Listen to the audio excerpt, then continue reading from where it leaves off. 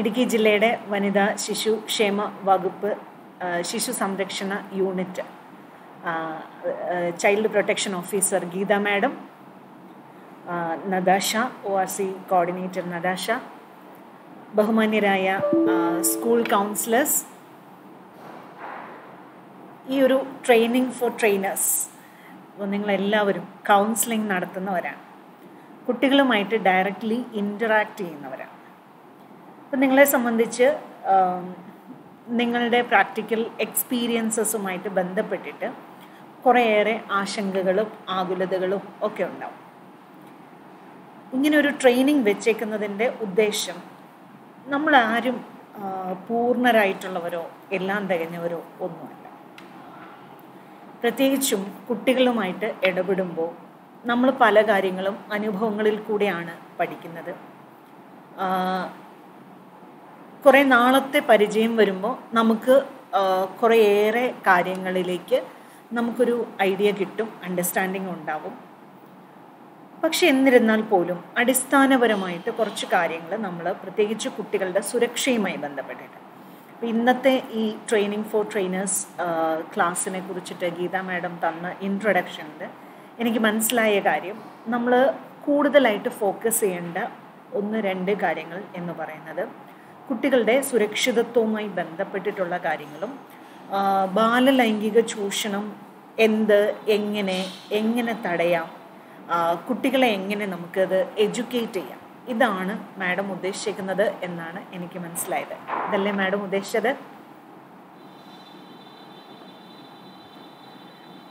അതെ അപ്പം child sexual abuse and abuse prevention ഇപ്പം നമ്മൾ ഈ ഒരു ക്ലാസ് നമ്മൾ ഓർഗനൈസ് ചെയ്തേക്കുന്നത് പോലും കൃത്യമായിട്ട് നമുക്കൊരു നമ്മുടെ മുമ്പിൽ ഒരു ക്രൈസിസ് ഉണ്ട്. അതായത് വണ്ടിപ്പെരിയാർ ഇഷ്യൂ നമ്മുടെ മുമ്പിൽ ഒരു ക്രൈസിസ് ആണ്.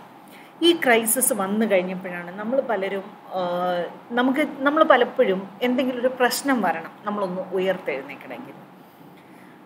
അങ്ങനെ ഒരു ഉയർത്തെഴുന്നേൽപ്പ് അല്ലെങ്കിൽ നമ്മൾ അങ്ങനെ ഒന്ന് പൊടി തട്ടി എഴുന്നേൽക്കാനുള്ള ഒരു ശ്രമമാണ് ഇപ്പം നമ്മൾ നടത്തിക്കൊണ്ടിരിക്കുന്നത്. ആ, കുഴപ്പമൊന്നുമല്ല കുറ്റവുമല്ല. മനുഷ്യനാവുമ്പോൾ അങ്ങനെയാണ്. അപ്പം നമ്മളെ സംബന്ധിച്ചൊരു ഒരു നീട് വരുമ്പോഴാണ് നമ്മളെപ്പോഴും അതിന് വേണ്ടിയിട്ട് പ്രവർത്തിക്കുന്നത്. അപ്പം ഇപ്പം നമ്മുടെ മുമ്പിലുള്ള ഒരു നീഡ് എന്ന് പറയുന്നത് ഈ ഒരു ഇഷ്യൂവിനെ ബേസ് ചെയ്തിട്ടാണ്. അപ്പം ഈ ഇഷ്യൂവിലേക്ക് നമ്മൾ പോകുന്നതിന് മുമ്പ് നമ്മുടെ ഇപ്പോഴത്തെ കറണ്ട് സെനാരിയോയെക്കുറിച്ച് നമുക്കൊരു ബോധ്യം ഉണ്ടാവണം. കറണ്ട് സെനാരിയോ എന്ന് പറയുന്നത് ഇപ്പം നമുക്കറിയാം വൺ ആൻഡ് ഹാഫ് ഇയേഴ്സ് ആയിട്ട് നമ്മൾ കോവിഡ് പാൻഡമിക്കിന്റെ അകത്താണ്. അല്ലെങ്കിൽ കോവിഡ് പാൻഡമിക്കിലാണ് അപ്പം കുട്ടികളെ സംബന്ധിച്ച് കുട്ടികൾ വീട്ടിൽ തന്നെയാണ് ഇരിക്കുന്നത്. സ്കൂളിൽ പോലും പോകണ്ട. ആദ്യ സമയത്തൊക്കെ നമ്മുടെ കുട്ടികൾക്ക് വലിയ സന്തോഷമായിരുന്നു. സ്കൂളില്ല എന്നൊക്കെ പറഞ്ഞപ്പോൾ ഭയങ്കര സന്തോഷമായിരുന്നു. പക്ഷേ ദിവസങ്ങൾ മുമ്പോട്ട് പോയി മാസങ്ങൾ മുമ്പോട്ട് പോയി വർഷങ്ങൾ മുമ്പോട്ട് പോകുന്നു എന്ന് പറയുന്ന ഒരു സാഹചര്യത്തിലേക്ക് വന്നു കഴിഞ്ഞപ്പോൾ ഇപ്പോഴാണ് നമ്മൾ നമ്മുടെ കുട്ടികളെക്കുറിച്ചൊന്ന് ചിന്തിച്ചു തുടങ്ങിയത്. കഴിഞ്ഞ വർഷം നമ്മൾ ഇങ്ങനെയുള്ള കാര്യങ്ങളെക്കുറിച്ചൊന്നും വലിയധികം ചിന്തിച്ചൊന്നുമില്ല. പക്ഷേ ഇപ്പോൾ കുറേ സിറ്റുവേഷൻസൊക്കെ വന്നു കഴിഞ്ഞപ്പം നമ്മളെ ആ സിറ്റുവേഷൻസ് ഫോഴ്സ് ചെയ്തു അതിനെക്കുറിച്ചൊന്ന് ചിന്തിക്കാനായിട്ട്. അപ്പം അങ്ങനെ ഒരു ചിന്തയുടെ ഭാഗമായിട്ടാണ് നമ്മൾ ഇന്ന് ഇങ്ങനെയൊരു ഇങ്ങനൊരു T O T training for trainers നമ്മൾ സംഘടിപ്പിച്ചിരിക്കുന്നത് പോലും ആ ഒരു പശ്ചാത്തലത്തിലാണ്. അപ്പം ഇങ്ങനെ ഒരു പശ്ചാത്തലത്തിൽ നമ്മൾ ചിന്തിക്കുമ്പോൾ നമ്മൾ മനസ്സിലാക്കേണ്ടതായിട്ടുള്ള നമ്മൾ നമ്മൾ ശ്രദ്ധിക്കേണ്ടതായിട്ടുള്ള ചില കാര്യങ്ങൾ. പ്രത്യേകിച്ച് കുട്ടികൾക്ക് നേരെ നടക്കുന്ന അതിക്രമങ്ങളെക്കുറിച്ച് നമുക്ക് ചില ബോധ്യങ്ങളും ബോ നമുക്ക് ചില അവയർനെസ്സും ഒക്കെ ഉണ്ടെങ്കിൽ മാത്രമേ നമുക്ക് അവരെ ഡീൽ ചെയ്യാനായിട്ട് നമുക്ക് പറ്റുള്ളൂ. അപ്പം ഒരു ഒരു എട്ട് ഒമ്പത് വർഷങ്ങൾക്ക് മുമ്പ് തൃശ്ശൂർ വെച്ച് നടന്ന ഒരു സദ്ഗമയ എന്ന് പറയുന്ന ഒരു പ്രോഗ്രാം ആ പ്രോഗ്രാമിൽ വെച്ച് ആ പ്രോഗ്രാമിൽ ഇതുപോലെ തന്നെ ഒരു പേഴ്സണൽ സേഫ്റ്റി എഡ്യൂക്കേഷൻ എന്ന് പറയുന്ന ഒരു ക്ലാസ് ആ ക്ലാസ്സിന് ആ ക്ലാസ് എടുത്തപ്പോൾ ഞാൻ ചോദിച്ച ഒന്നാമത്തെ ചോദ്യം ഇന്ന് ഭയങ്കരമായിട്ട് റെലവന്റ് ആണ് എന്ന് എനിക്ക് തോന്നുന്നു. എന്റെ ചോദ്യം ഇതാണ്. അന്ന് ഞാൻ ചോദിച്ച ചോദ്യം ഇതായിരുന്നു. അതായത് നിങ്ങൾ നിങ്ങളുടെ വീട്ടിലുള്ളപ്പം ഞാൻ നിങ്ങളെ സ്കൂൾ കൗൺസിലേഴ്സ് എന്നുള്ള പേരിൽ മാത്രമല്ല കേട്ടോ ഞാൻ നിങ്ങളെ കാണുന്നത്. ആസ് എ പേരന്റ് കൂടെയാണ് ഞാൻ ഡിസ്കസ് ചെയ്യുന്നത്. കാരണം നമ്മളൊരു കൗൺസിലർ എന്നുള്ള ലേബലിനപ്പുറത്ത് നമുക്ക് ചില കാര്യങ്ങൾ കുറിച്ച് ബോധ്യമുണ്ട് എങ്കിൽ തീർച്ചയായിട്ടും നമുക്ക് കുറച്ചുകൂടെ അതിനെ ഒരു പോസിറ്റീവായിട്ട് മനസ്സിലാക്കാനും കാണാനും ഒക്കെ സാധിക്കും എന്നുള്ള ഒരു യാഥാർത്ഥ്യമുണ്ട്. അതുകൊണ്ടാണ് ഞാൻ ആ ഒരു രീതിയിൽ നിങ്ങളെ കാണുന്നു എന്ന് പറഞ്ഞതിന്റെ അർത്ഥം. ഓക്കെ അപ്പോൾ അന്ന് ഞാൻ ചോദിച്ച ചോദ്യം ഇതാണ്. ആസ് എ ഇപ്പം നിങ്ങളൊരു പേരന്റ് ആണെന്ന് വിചാരിക്കാം. ആസ് എ പേരന്റ് നിങ്ങൾ നിങ്ങളുടെ വീട്ടിലുള്ള ഒരു സമയത്ത് നിങ്ങളുടെ പ്രസ അതായത് നിങ്ങളുടെ ഫിസിക്കൽ പ്രസൻസ് ഉള്ള സമയത്ത് നിങ്ങളുടെ മക്കൾ നിങ്ങളുടെ വീട്ടിൽ സുരക്ഷിതരാണോ. കൊച്ചുകുട്ടികൾ സേ ഫോർ എക്സാമ്പിൾ പത്ത് വയസ്സ് താഴെയുള്ള കുട്ടികളെ കുറിച്ചിട്ട് അല്ലെങ്കിൽ പതിനഞ്ച് വയസ്സ് താഴെ പതിനഞ്ച് വരെ പോകേണ്ട ഒരു പന്ത്രണ്ട് വയസ്സ് താഴെയുള്ള കുട്ടികളെ കുറിച്ചിട്ടാണ് ഞാൻ ചോദിക്കുന്നത്. നിങ്ങൾ വീട്ടിലുള്ള സമയത്ത് ആസ് എ മദർ അല്ലെങ്കിൽ എനിക്ക് തോന്നുന്നു കൂടുതലും സ്ത്രീകളാണ് കൗൺസിലേഴ്സായിട്ട് കൂടുതലും ഇതിലുള്ളത് എന്നാണ് എന്റെ ഒരു അണ്ടർസ്റ്റാൻഡിങ് ഓക്കെ സ്ത്രീകളാണെങ്കിലും പുരുഷന്മാരാണെങ്കിലും കുഴപ്പമില്ല. ആസ് എ ഫാദർ അല്ലെങ്കിൽ മദർ നിങ്ങൾ വീട്ടിലുള്ള സമയത്ത് നിങ്ങളുടെ കുട്ടികൾ പത്ത് വയസ്സിൽ താഴെയുള്ള നിങ്ങളുടെ കുട്ടികൾ നിങ്ങളുടെ വീട്ടിൽ സുരക്ഷിതരാണോ എന്നുള്ളതാണ് എന്റെ ചോദ്യം. ഈ ചോദ്യം ചോദിച്ചപ്പോൾ എല്ലാവരും ഞാൻ പറഞ്ഞു ഇറസ്പെക്റ്റീവ് ഓഫ് എന്താ പറയുക നിങ്ങൾ മറ്റുള്ളവർ എന്ത് ചെയ്യുന്നു ചെയ്യുന്നില്ല എന്നുള്ളതൊന്നും വിചാരിക്കേണ്ട. സുരക്ഷിതരാണ് എന്ന് ഉറപ്പുള്ളവർ കൈ പൊക്കാൻ പറഞ്ഞപ്പം എന്റെ മുമ്പിലുണ്ടായിരുന്ന ഒരു രണ്ടായിരം രണ്ടായിരത്തഞ്ഞൂറ് ഓഡിയൻസ് ഉണ്ടായിരുന്നു അന്ന്. അത്രയും ഓഡിയൻസിൽ ഒരു മൂന്നോ നാലോ പേര് ഒഴിച്ചു ബാക്കി എല്ലാവരും കൈ ഉയർത്തി സുരക്ഷിതരാണ് എന്ന് പറഞ്ഞിട്ട്.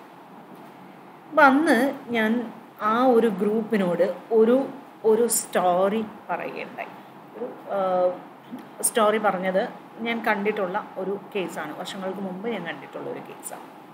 ആ കേസ് ഇതാണ് ഒരു കുട്ടി ആ കുട്ടിയുടെ അച്ഛനും അച്ഛന്റെ ഫ്രണ്ടും കൂടെ ഒരു ദിവസം വൈകുന്നേരം വീട്ടിൽ വരുന്നു. അച്ഛൻ ജോലി കഴിഞ്ഞ് വന്നപ്പോൾ കൂടെ അദ്ദേഹത്തിന്റെ സുഹൃത്തും കൂടെ ഉണ്ടായിരുന്നു.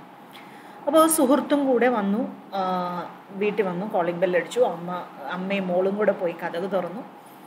കഥക് തുറന്ന് പപ്പായും പപ്പായുടെ ഒരു സുഹൃത്തും കയറി വരുന്നു. അവർ ലിവിങ് റൂമിലിരിക്കുന്നു ഇരുന്നതിന് ശേഷം വർത്തമാനമൊക്കെ പറഞ്ഞു തുടങ്ങി കഴിഞ്ഞപ്പം പപ്പ പറഞ്ഞു ഞാനൊന്ന് പോയി ഫ്രഷ് ആയിട്ട് വരാം.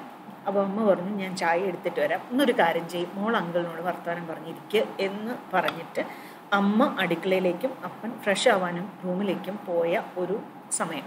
ഈ ഒരു ടൈം ഗ്യാപ്പ് എന്ന് പറയുന്നത് മാക്സിമം നമുക്ക് ചിന്തിക്കാൻ പറ്റുന്ന ടൈം ഗ്യാപ്പ് എന്ന് പറയുന്നത് പത്ത് മിനിറ്റാണ് ഓക്കെ അതിനപ്പുറത്തേക്കൊരു ടൈം ഡ്യൂറേഷൻ അവിടെ ഇല്ല. ഇപ്പം നമ്മൾ ഇപ്പം ഞാൻ ഇൻക്ലൂഡിങ് ഞാൻ നമ്മളൊക്കെ വീടുകളിൽ ആയിരിക്കുന്ന സമയത്ത് ഇങ്ങനെയുള്ള രീതിയിൽ നമ്മൾ ബിഹേവ് ചെയ്യാറുണ്ട്. അടുക്കളയിൽ പോയി ഒരു ചായ എടുക്കുകയാണെങ്കിൽ ആസ് എ അപ്പം ഒരു ഫാമിലി മേക്കർ എന്നുള്ള രീതിയിൽ ഞാൻ പറയുകയാണെങ്കിൽ അടുക്കളയിൽ പോയി ഒരു ചായ എടുക്കാൻ മാക്സിമം മാക്സിമം ടൈം എന്ന് പറയുന്നത് പത്ത് മിനിറ്റ് മതി. ഈ പത്ത് മിനിറ്റിൽ അമ്മ തിരിച്ചു വരുന്നു ഫ്രഷായ അപ്പൻ തിരിച്ചു വരുന്നു. വളരെ കാഷ്വലായിട്ട് കാര്യങ്ങൾ മുമ്പോട്ട് പോകുന്നു. അതിനുശേഷം ദ നെക്സ്റ്റ് ഡേ കുട്ടി പറയുന്നു ഞാൻ സ്കൂളിൽ പോകുന്നില്ല. രണ്ടാമത്തെ അപ്പോൾ സ്കൂളിൽ പോകുന്നില്ല എന്ന് പറഞ്ഞപ്പം കൊച്ചു പറഞ്ഞു എനിക്ക് പേടിയാണ് സ്കൂളിൽ പോകാൻ. അമ്മ അല്ല സോറി അപ്പ ജോലിക്ക് പോകണ്ട. അപ്പ അവിടെ എന്റെ കൂടെ ഇരിക്കണം. എനിക്ക് പേടിയാണ് എന്ന് പറഞ്ഞു. അങ്ങനെ ഒരു ദിവസം രണ്ട് ദിവസം മൂന്ന് ദിവസം ആയി. കുട്ടിയുടെ കുട്ടി ഡിമാൻഡ് ചെയ്യുന്നത് പപ്പ ജോലിക്ക് പോകണ്ട എന്നുള്ളതാണ്. ഇങ്ങനെ ഒരു സിറ്റുവേഷനിലാണ് ഈ കേസ് എന്റെ അടുത്ത് വരുന്നത്. ഓക്കെ അന്ന് ഈ കേസ് വരുന്ന ഒരു സമയത്ത് ഡിസ്കസ് ചെയ്തു. കുട്ടിയുമായിട്ട് സംസാരിക്കുന്ന ഒരു സിറ്റുവേഷൻ എന്തിനാണ് പപ്പ ജോലിക്ക് പോകണ്ട എന്നുള്ള ഒരു കം അല്ലെങ്കിൽ പപ്പ ജോലിക്ക് പോകണ്ട എന്നുള്ള ഒരു ഡിമാൻഡാണ് ഈ കുട്ടി വെച്ചേക്കുന്നത്. ഈ ഡിമാൻഡ് വെച്ചേക്കുന്നതിന്റെ സാഹചര്യം എന്ന് പറയുന്നത് എന്താണ് എന്നുള്ളത് നമുക്ക് ശരിക്കും മനസ്സിലാക്കാനായിട്ട് പറ്റുന്നില്ല. അങ്ങനെ കുട്ടിയുമായിട്ട് പേഴ്സ് എന്താ പറയുക വൺ ടു വൺ ഇന്ററാക്ഷൻ വെച്ചു. ആദ്യത്തെ സമയത്തൊന്നും കുട്ടി അടുക്കുന്നൊന്നുമില്ല. സോ ഞാൻ എടുത്ത ഒരു മെത്തേഡ് എന്ന് പറയുന്നത് I played with this child ഒരു രണ്ട് സെഷൻ ഒരു മണിക്കൂറും കൂടെ എക്സ്റ്റെൻഡ് ചെയ്തൊരു സെഷൻ കൊടുത്ത് ഞാൻ ഈ കുട്ടിയുടെ കൂടെ ഇരുന്ന് കുറേ സമയം കളിച്ചു. കളിച്ചു കഴിഞ്ഞപ്പം she was able to relate to relate with me അങ്ങനെ റിലേറ്റ് ചെയ്ത് കഴിഞ്ഞ് കഴിഞ്ഞപ്പോൾ ഞാൻ കുട്ടിയോട് ചോദിച്ചു എന്താ പപ്പ ജോലിക്ക് പോണ്ടാത്തേ? എന്ന് ചോദിച്ചു.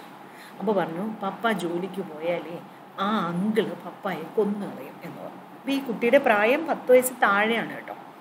ആ അങ്കിൾ പപ്പായെ കൊന്നു അപ്പം ഞാൻ ചോദിച്ചു ഏത് അങ്കിൾ?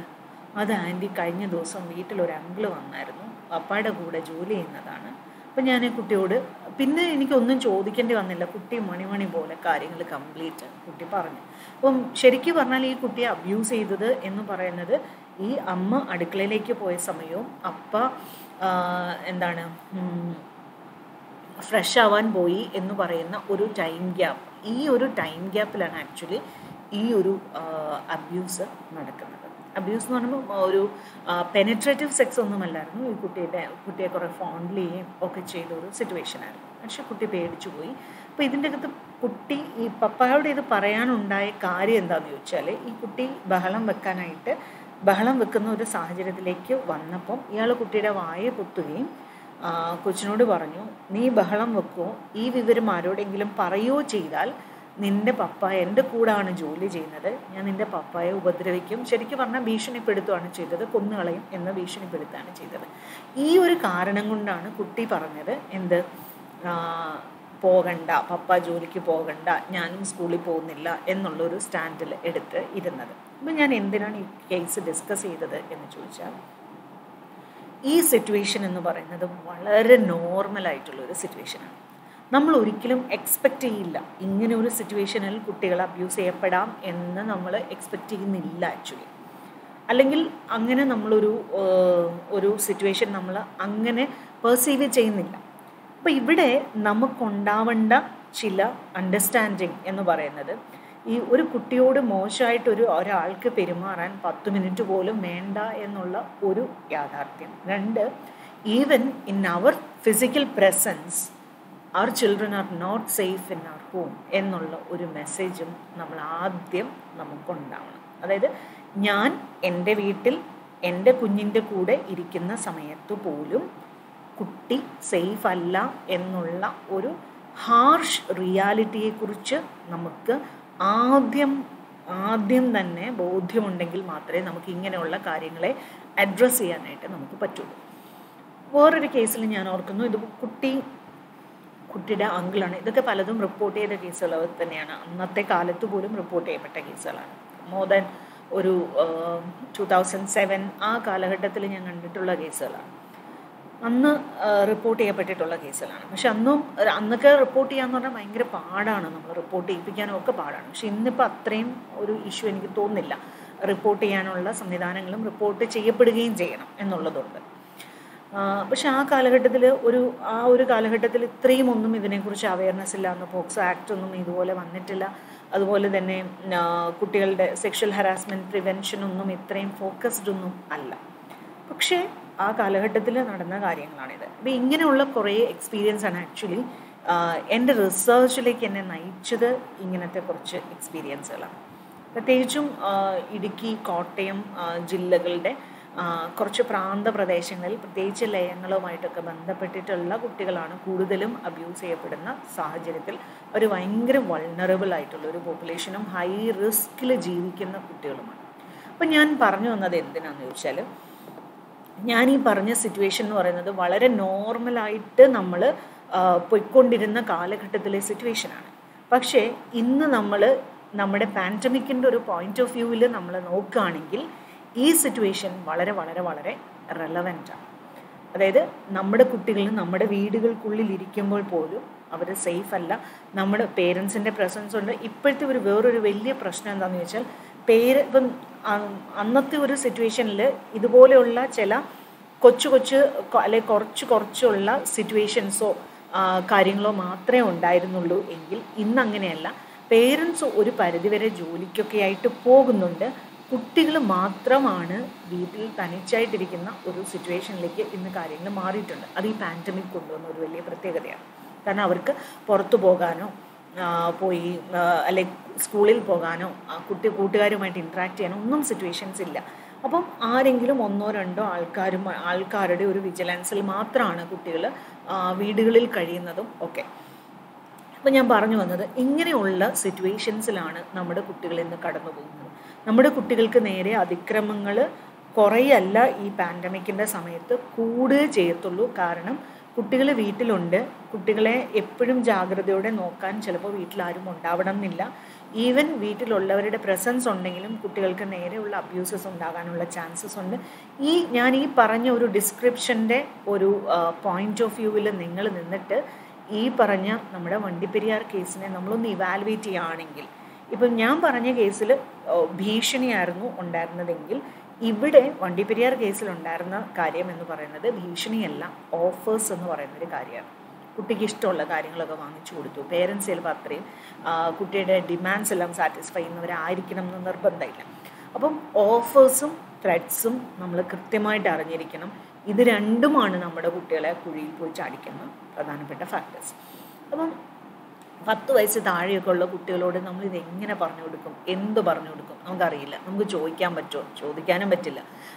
ചോദിച്ചു കഴിഞ്ഞാൽ കുട്ടി നമ്മൾ ലീഡിങ് ക്വസ്റ്റ്യൻസ് ആ ചോദിക്കുന്നെങ്കിൽ കുട്ടി അതിനനുസരിച്ച് ആൻസർ ചിലപ്പോൾ ഇല്ലാത്ത കാര്യങ്ങൾ പോലും പറയണം പറയാനുള്ള സാധ്യതകളും ഒക്കെ ഇതിന്റെ അകത്ത് ഉണ്ട്. അതുകൊണ്ട് തന്നെ പന്ത്രണ്ട് വയസ്സ് താഴെയുള്ള കുട്ടികളെ പ്രത്യേകിച്ചും ഇങ്ങനെയുള്ള സിറ്റുവേഷൻസ് നമ്മൾ ഹാൻഡിൽ ചെയ്യുക എന്ന് പറയുന്നത് വളരെ സെൻസിറ്റീവാണ് വളരെ ഇമ്പോർട്ടന്റ് ആണ്. അതുപോലെ തന്നെ നമ്മൾ ഭയങ്കര ഫ്രജൈലായിട്ട് ഹാൻഡിൽ ചെയ്യേണ്ട ഒരു കാര്യമാണ്.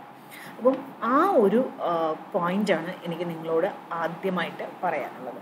അപ്പം ഇതിനു മുമ്പ് നമ്മൾ ഇപ്പം ഈ ഒരു ഫ്രജൈലായിട്ട് ഹാൻഡിൽ ചെയ്യണം അല്ലെങ്കിൽ നമ്മൾ പറയില്ലേ ഹാൻഡിൽ വിത്ത് കെയർ എന്ന് പറയുന്നത്. ഇപ്പം കുപ്പി ഗ്ലാസ് നമ്മൾ പൊട്ടാതെ സൂക്ഷിക്കണം എന്ന് പറയുന്നതാണ് നമ്മൾ ഭയങ്കര കെയർഫുള്ളായിട്ട് യൂസ് ചെയ്യണം അല്ലെങ്കിൽ സൂക്ഷിക്കണം എന്ന് പറയുന്നത്.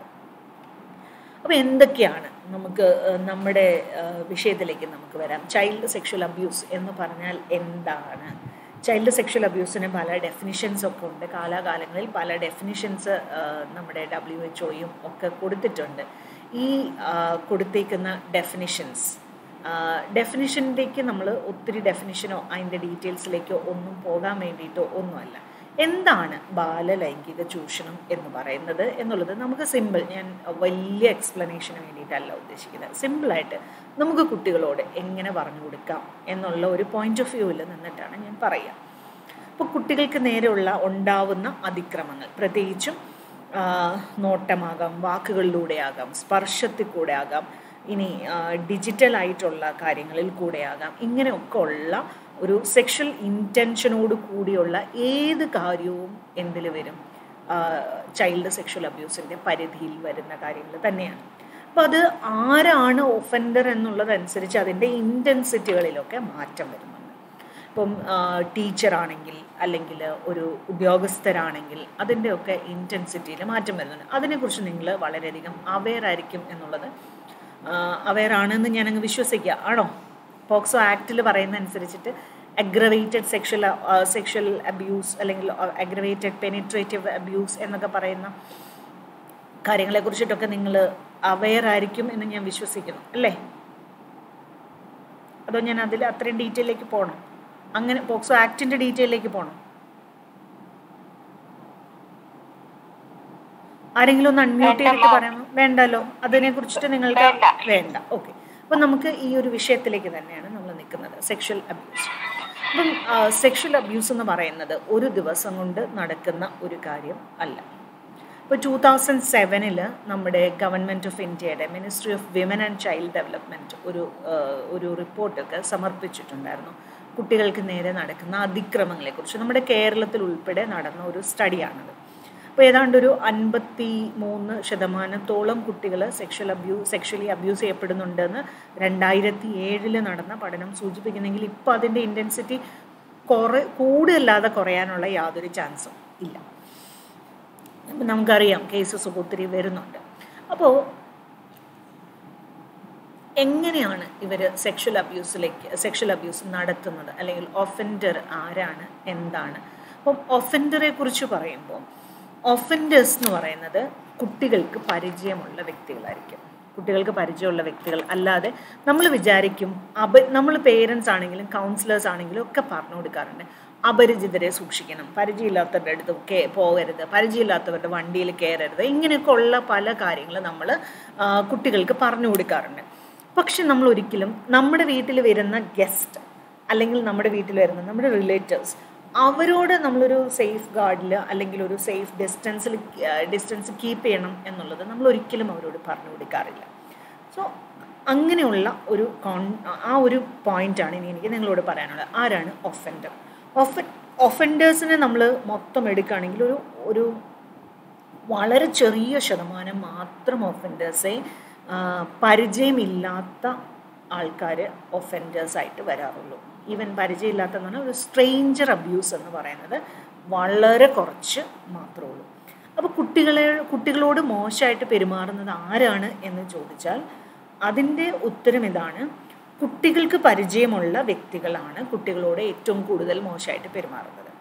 അത് കുട്ടികളുടെ റിലേറ്റീവ്സ് ആയിരിക്കാം വീട്ടിൽ പരിചയമുള്ളവരായിരിക്കാം പേരൻസിന് പരിചയമുള്ളവരായിരിക്കാം വീട്ടിൽ വരാനുള്ള അല്ലെങ്കിൽ ഈവൻ ഒരു വീട്ടിലെ ബെഡ്റൂം വരെ കയറാൻ എന്താ പറയുക സ്വാതന്ത്ര്യമുള്ള വ്യക്തികൾ വരെ ആകാം ഒഫൻഡേഴ്സ് എന്ന് പറയുന്നത്.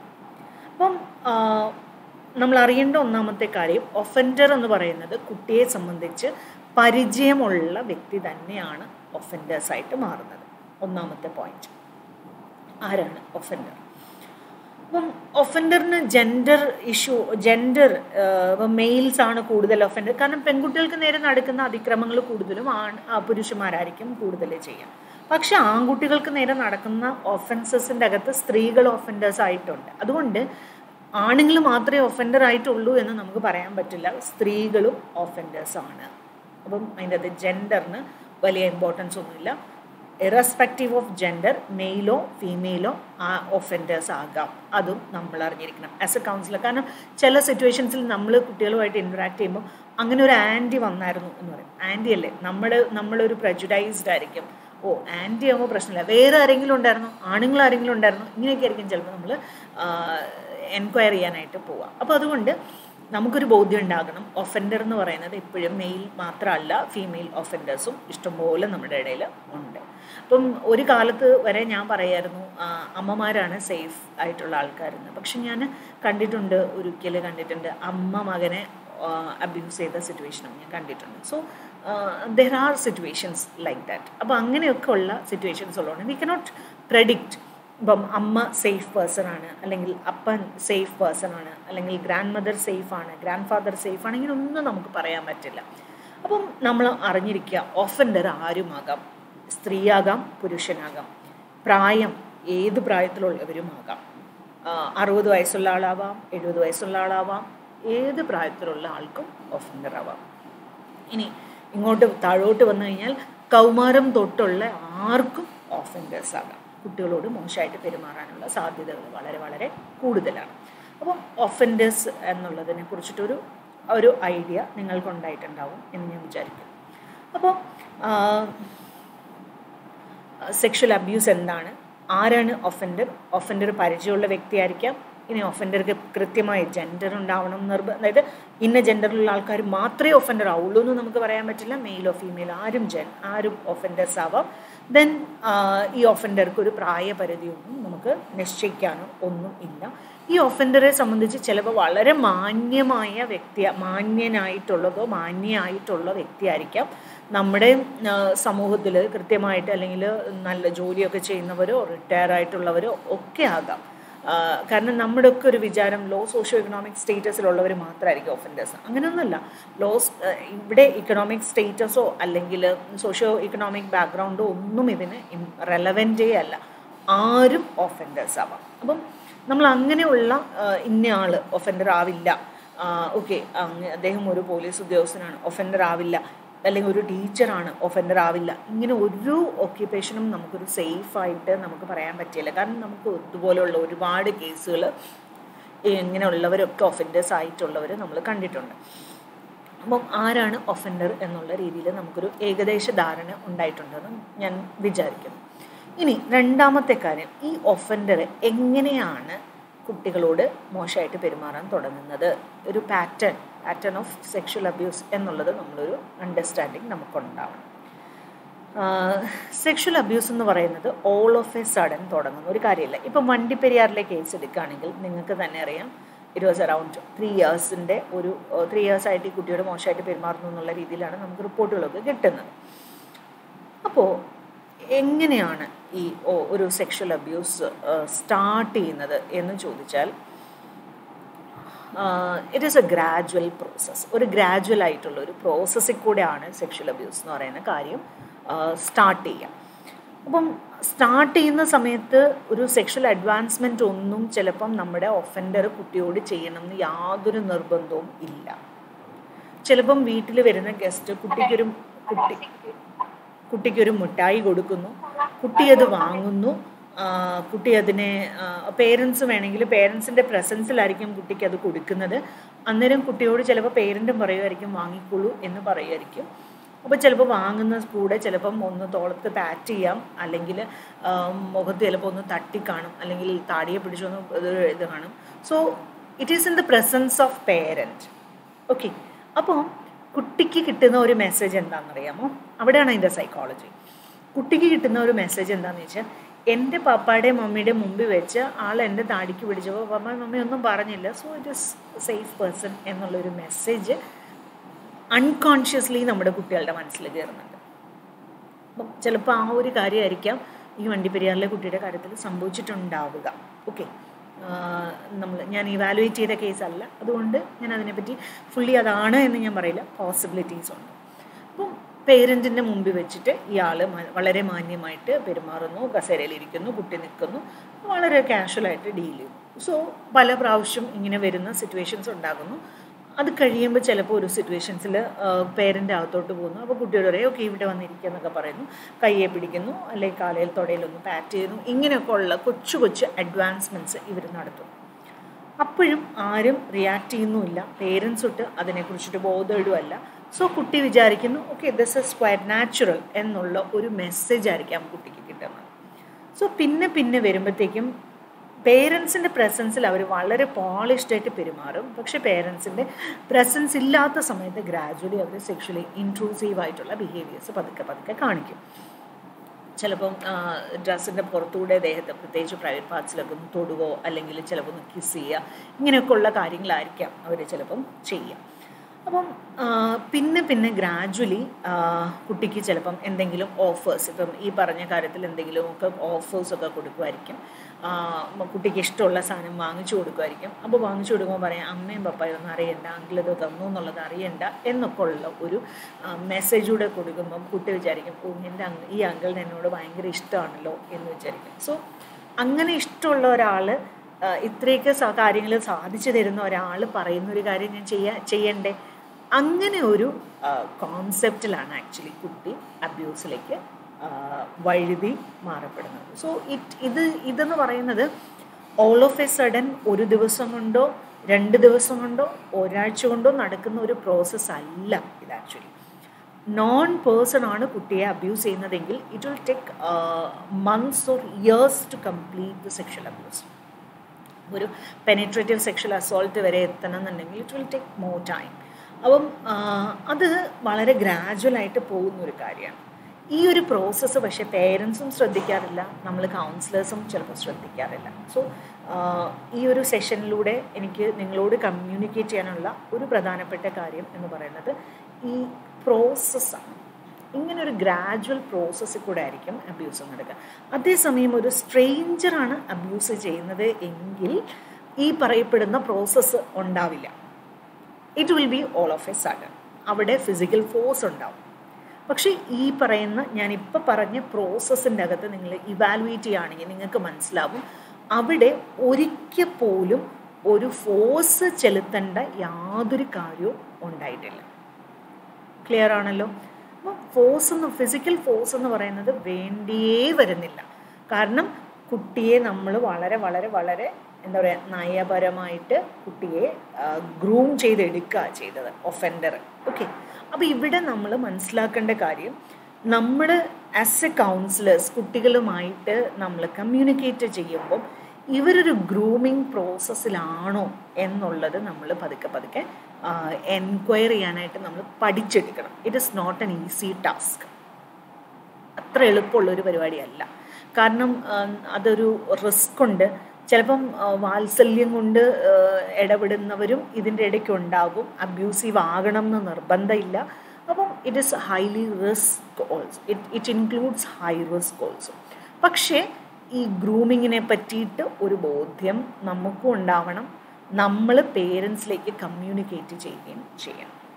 ഓക്കെ അപ്പോൾ ഗ്രൂമിങ് എന്ന് പറയുന്നത് ആ ഗ്രൂമിങ് പ്രോസസ്സിലൂടെയാണ് ആക്ച്വലി അറിയുന്ന വ്യക്തികളാണ് കുട്ടികളെ അബ്യൂസ് ചെയ്യുന്നതെങ്കിൽ ഒഫൻസസ് നടക്കുന്നത് ഈ ഗ്രൂമിങ് പ്രോസസ്സിന്റെ ഭാഗമായിട്ടായിരിക്കും.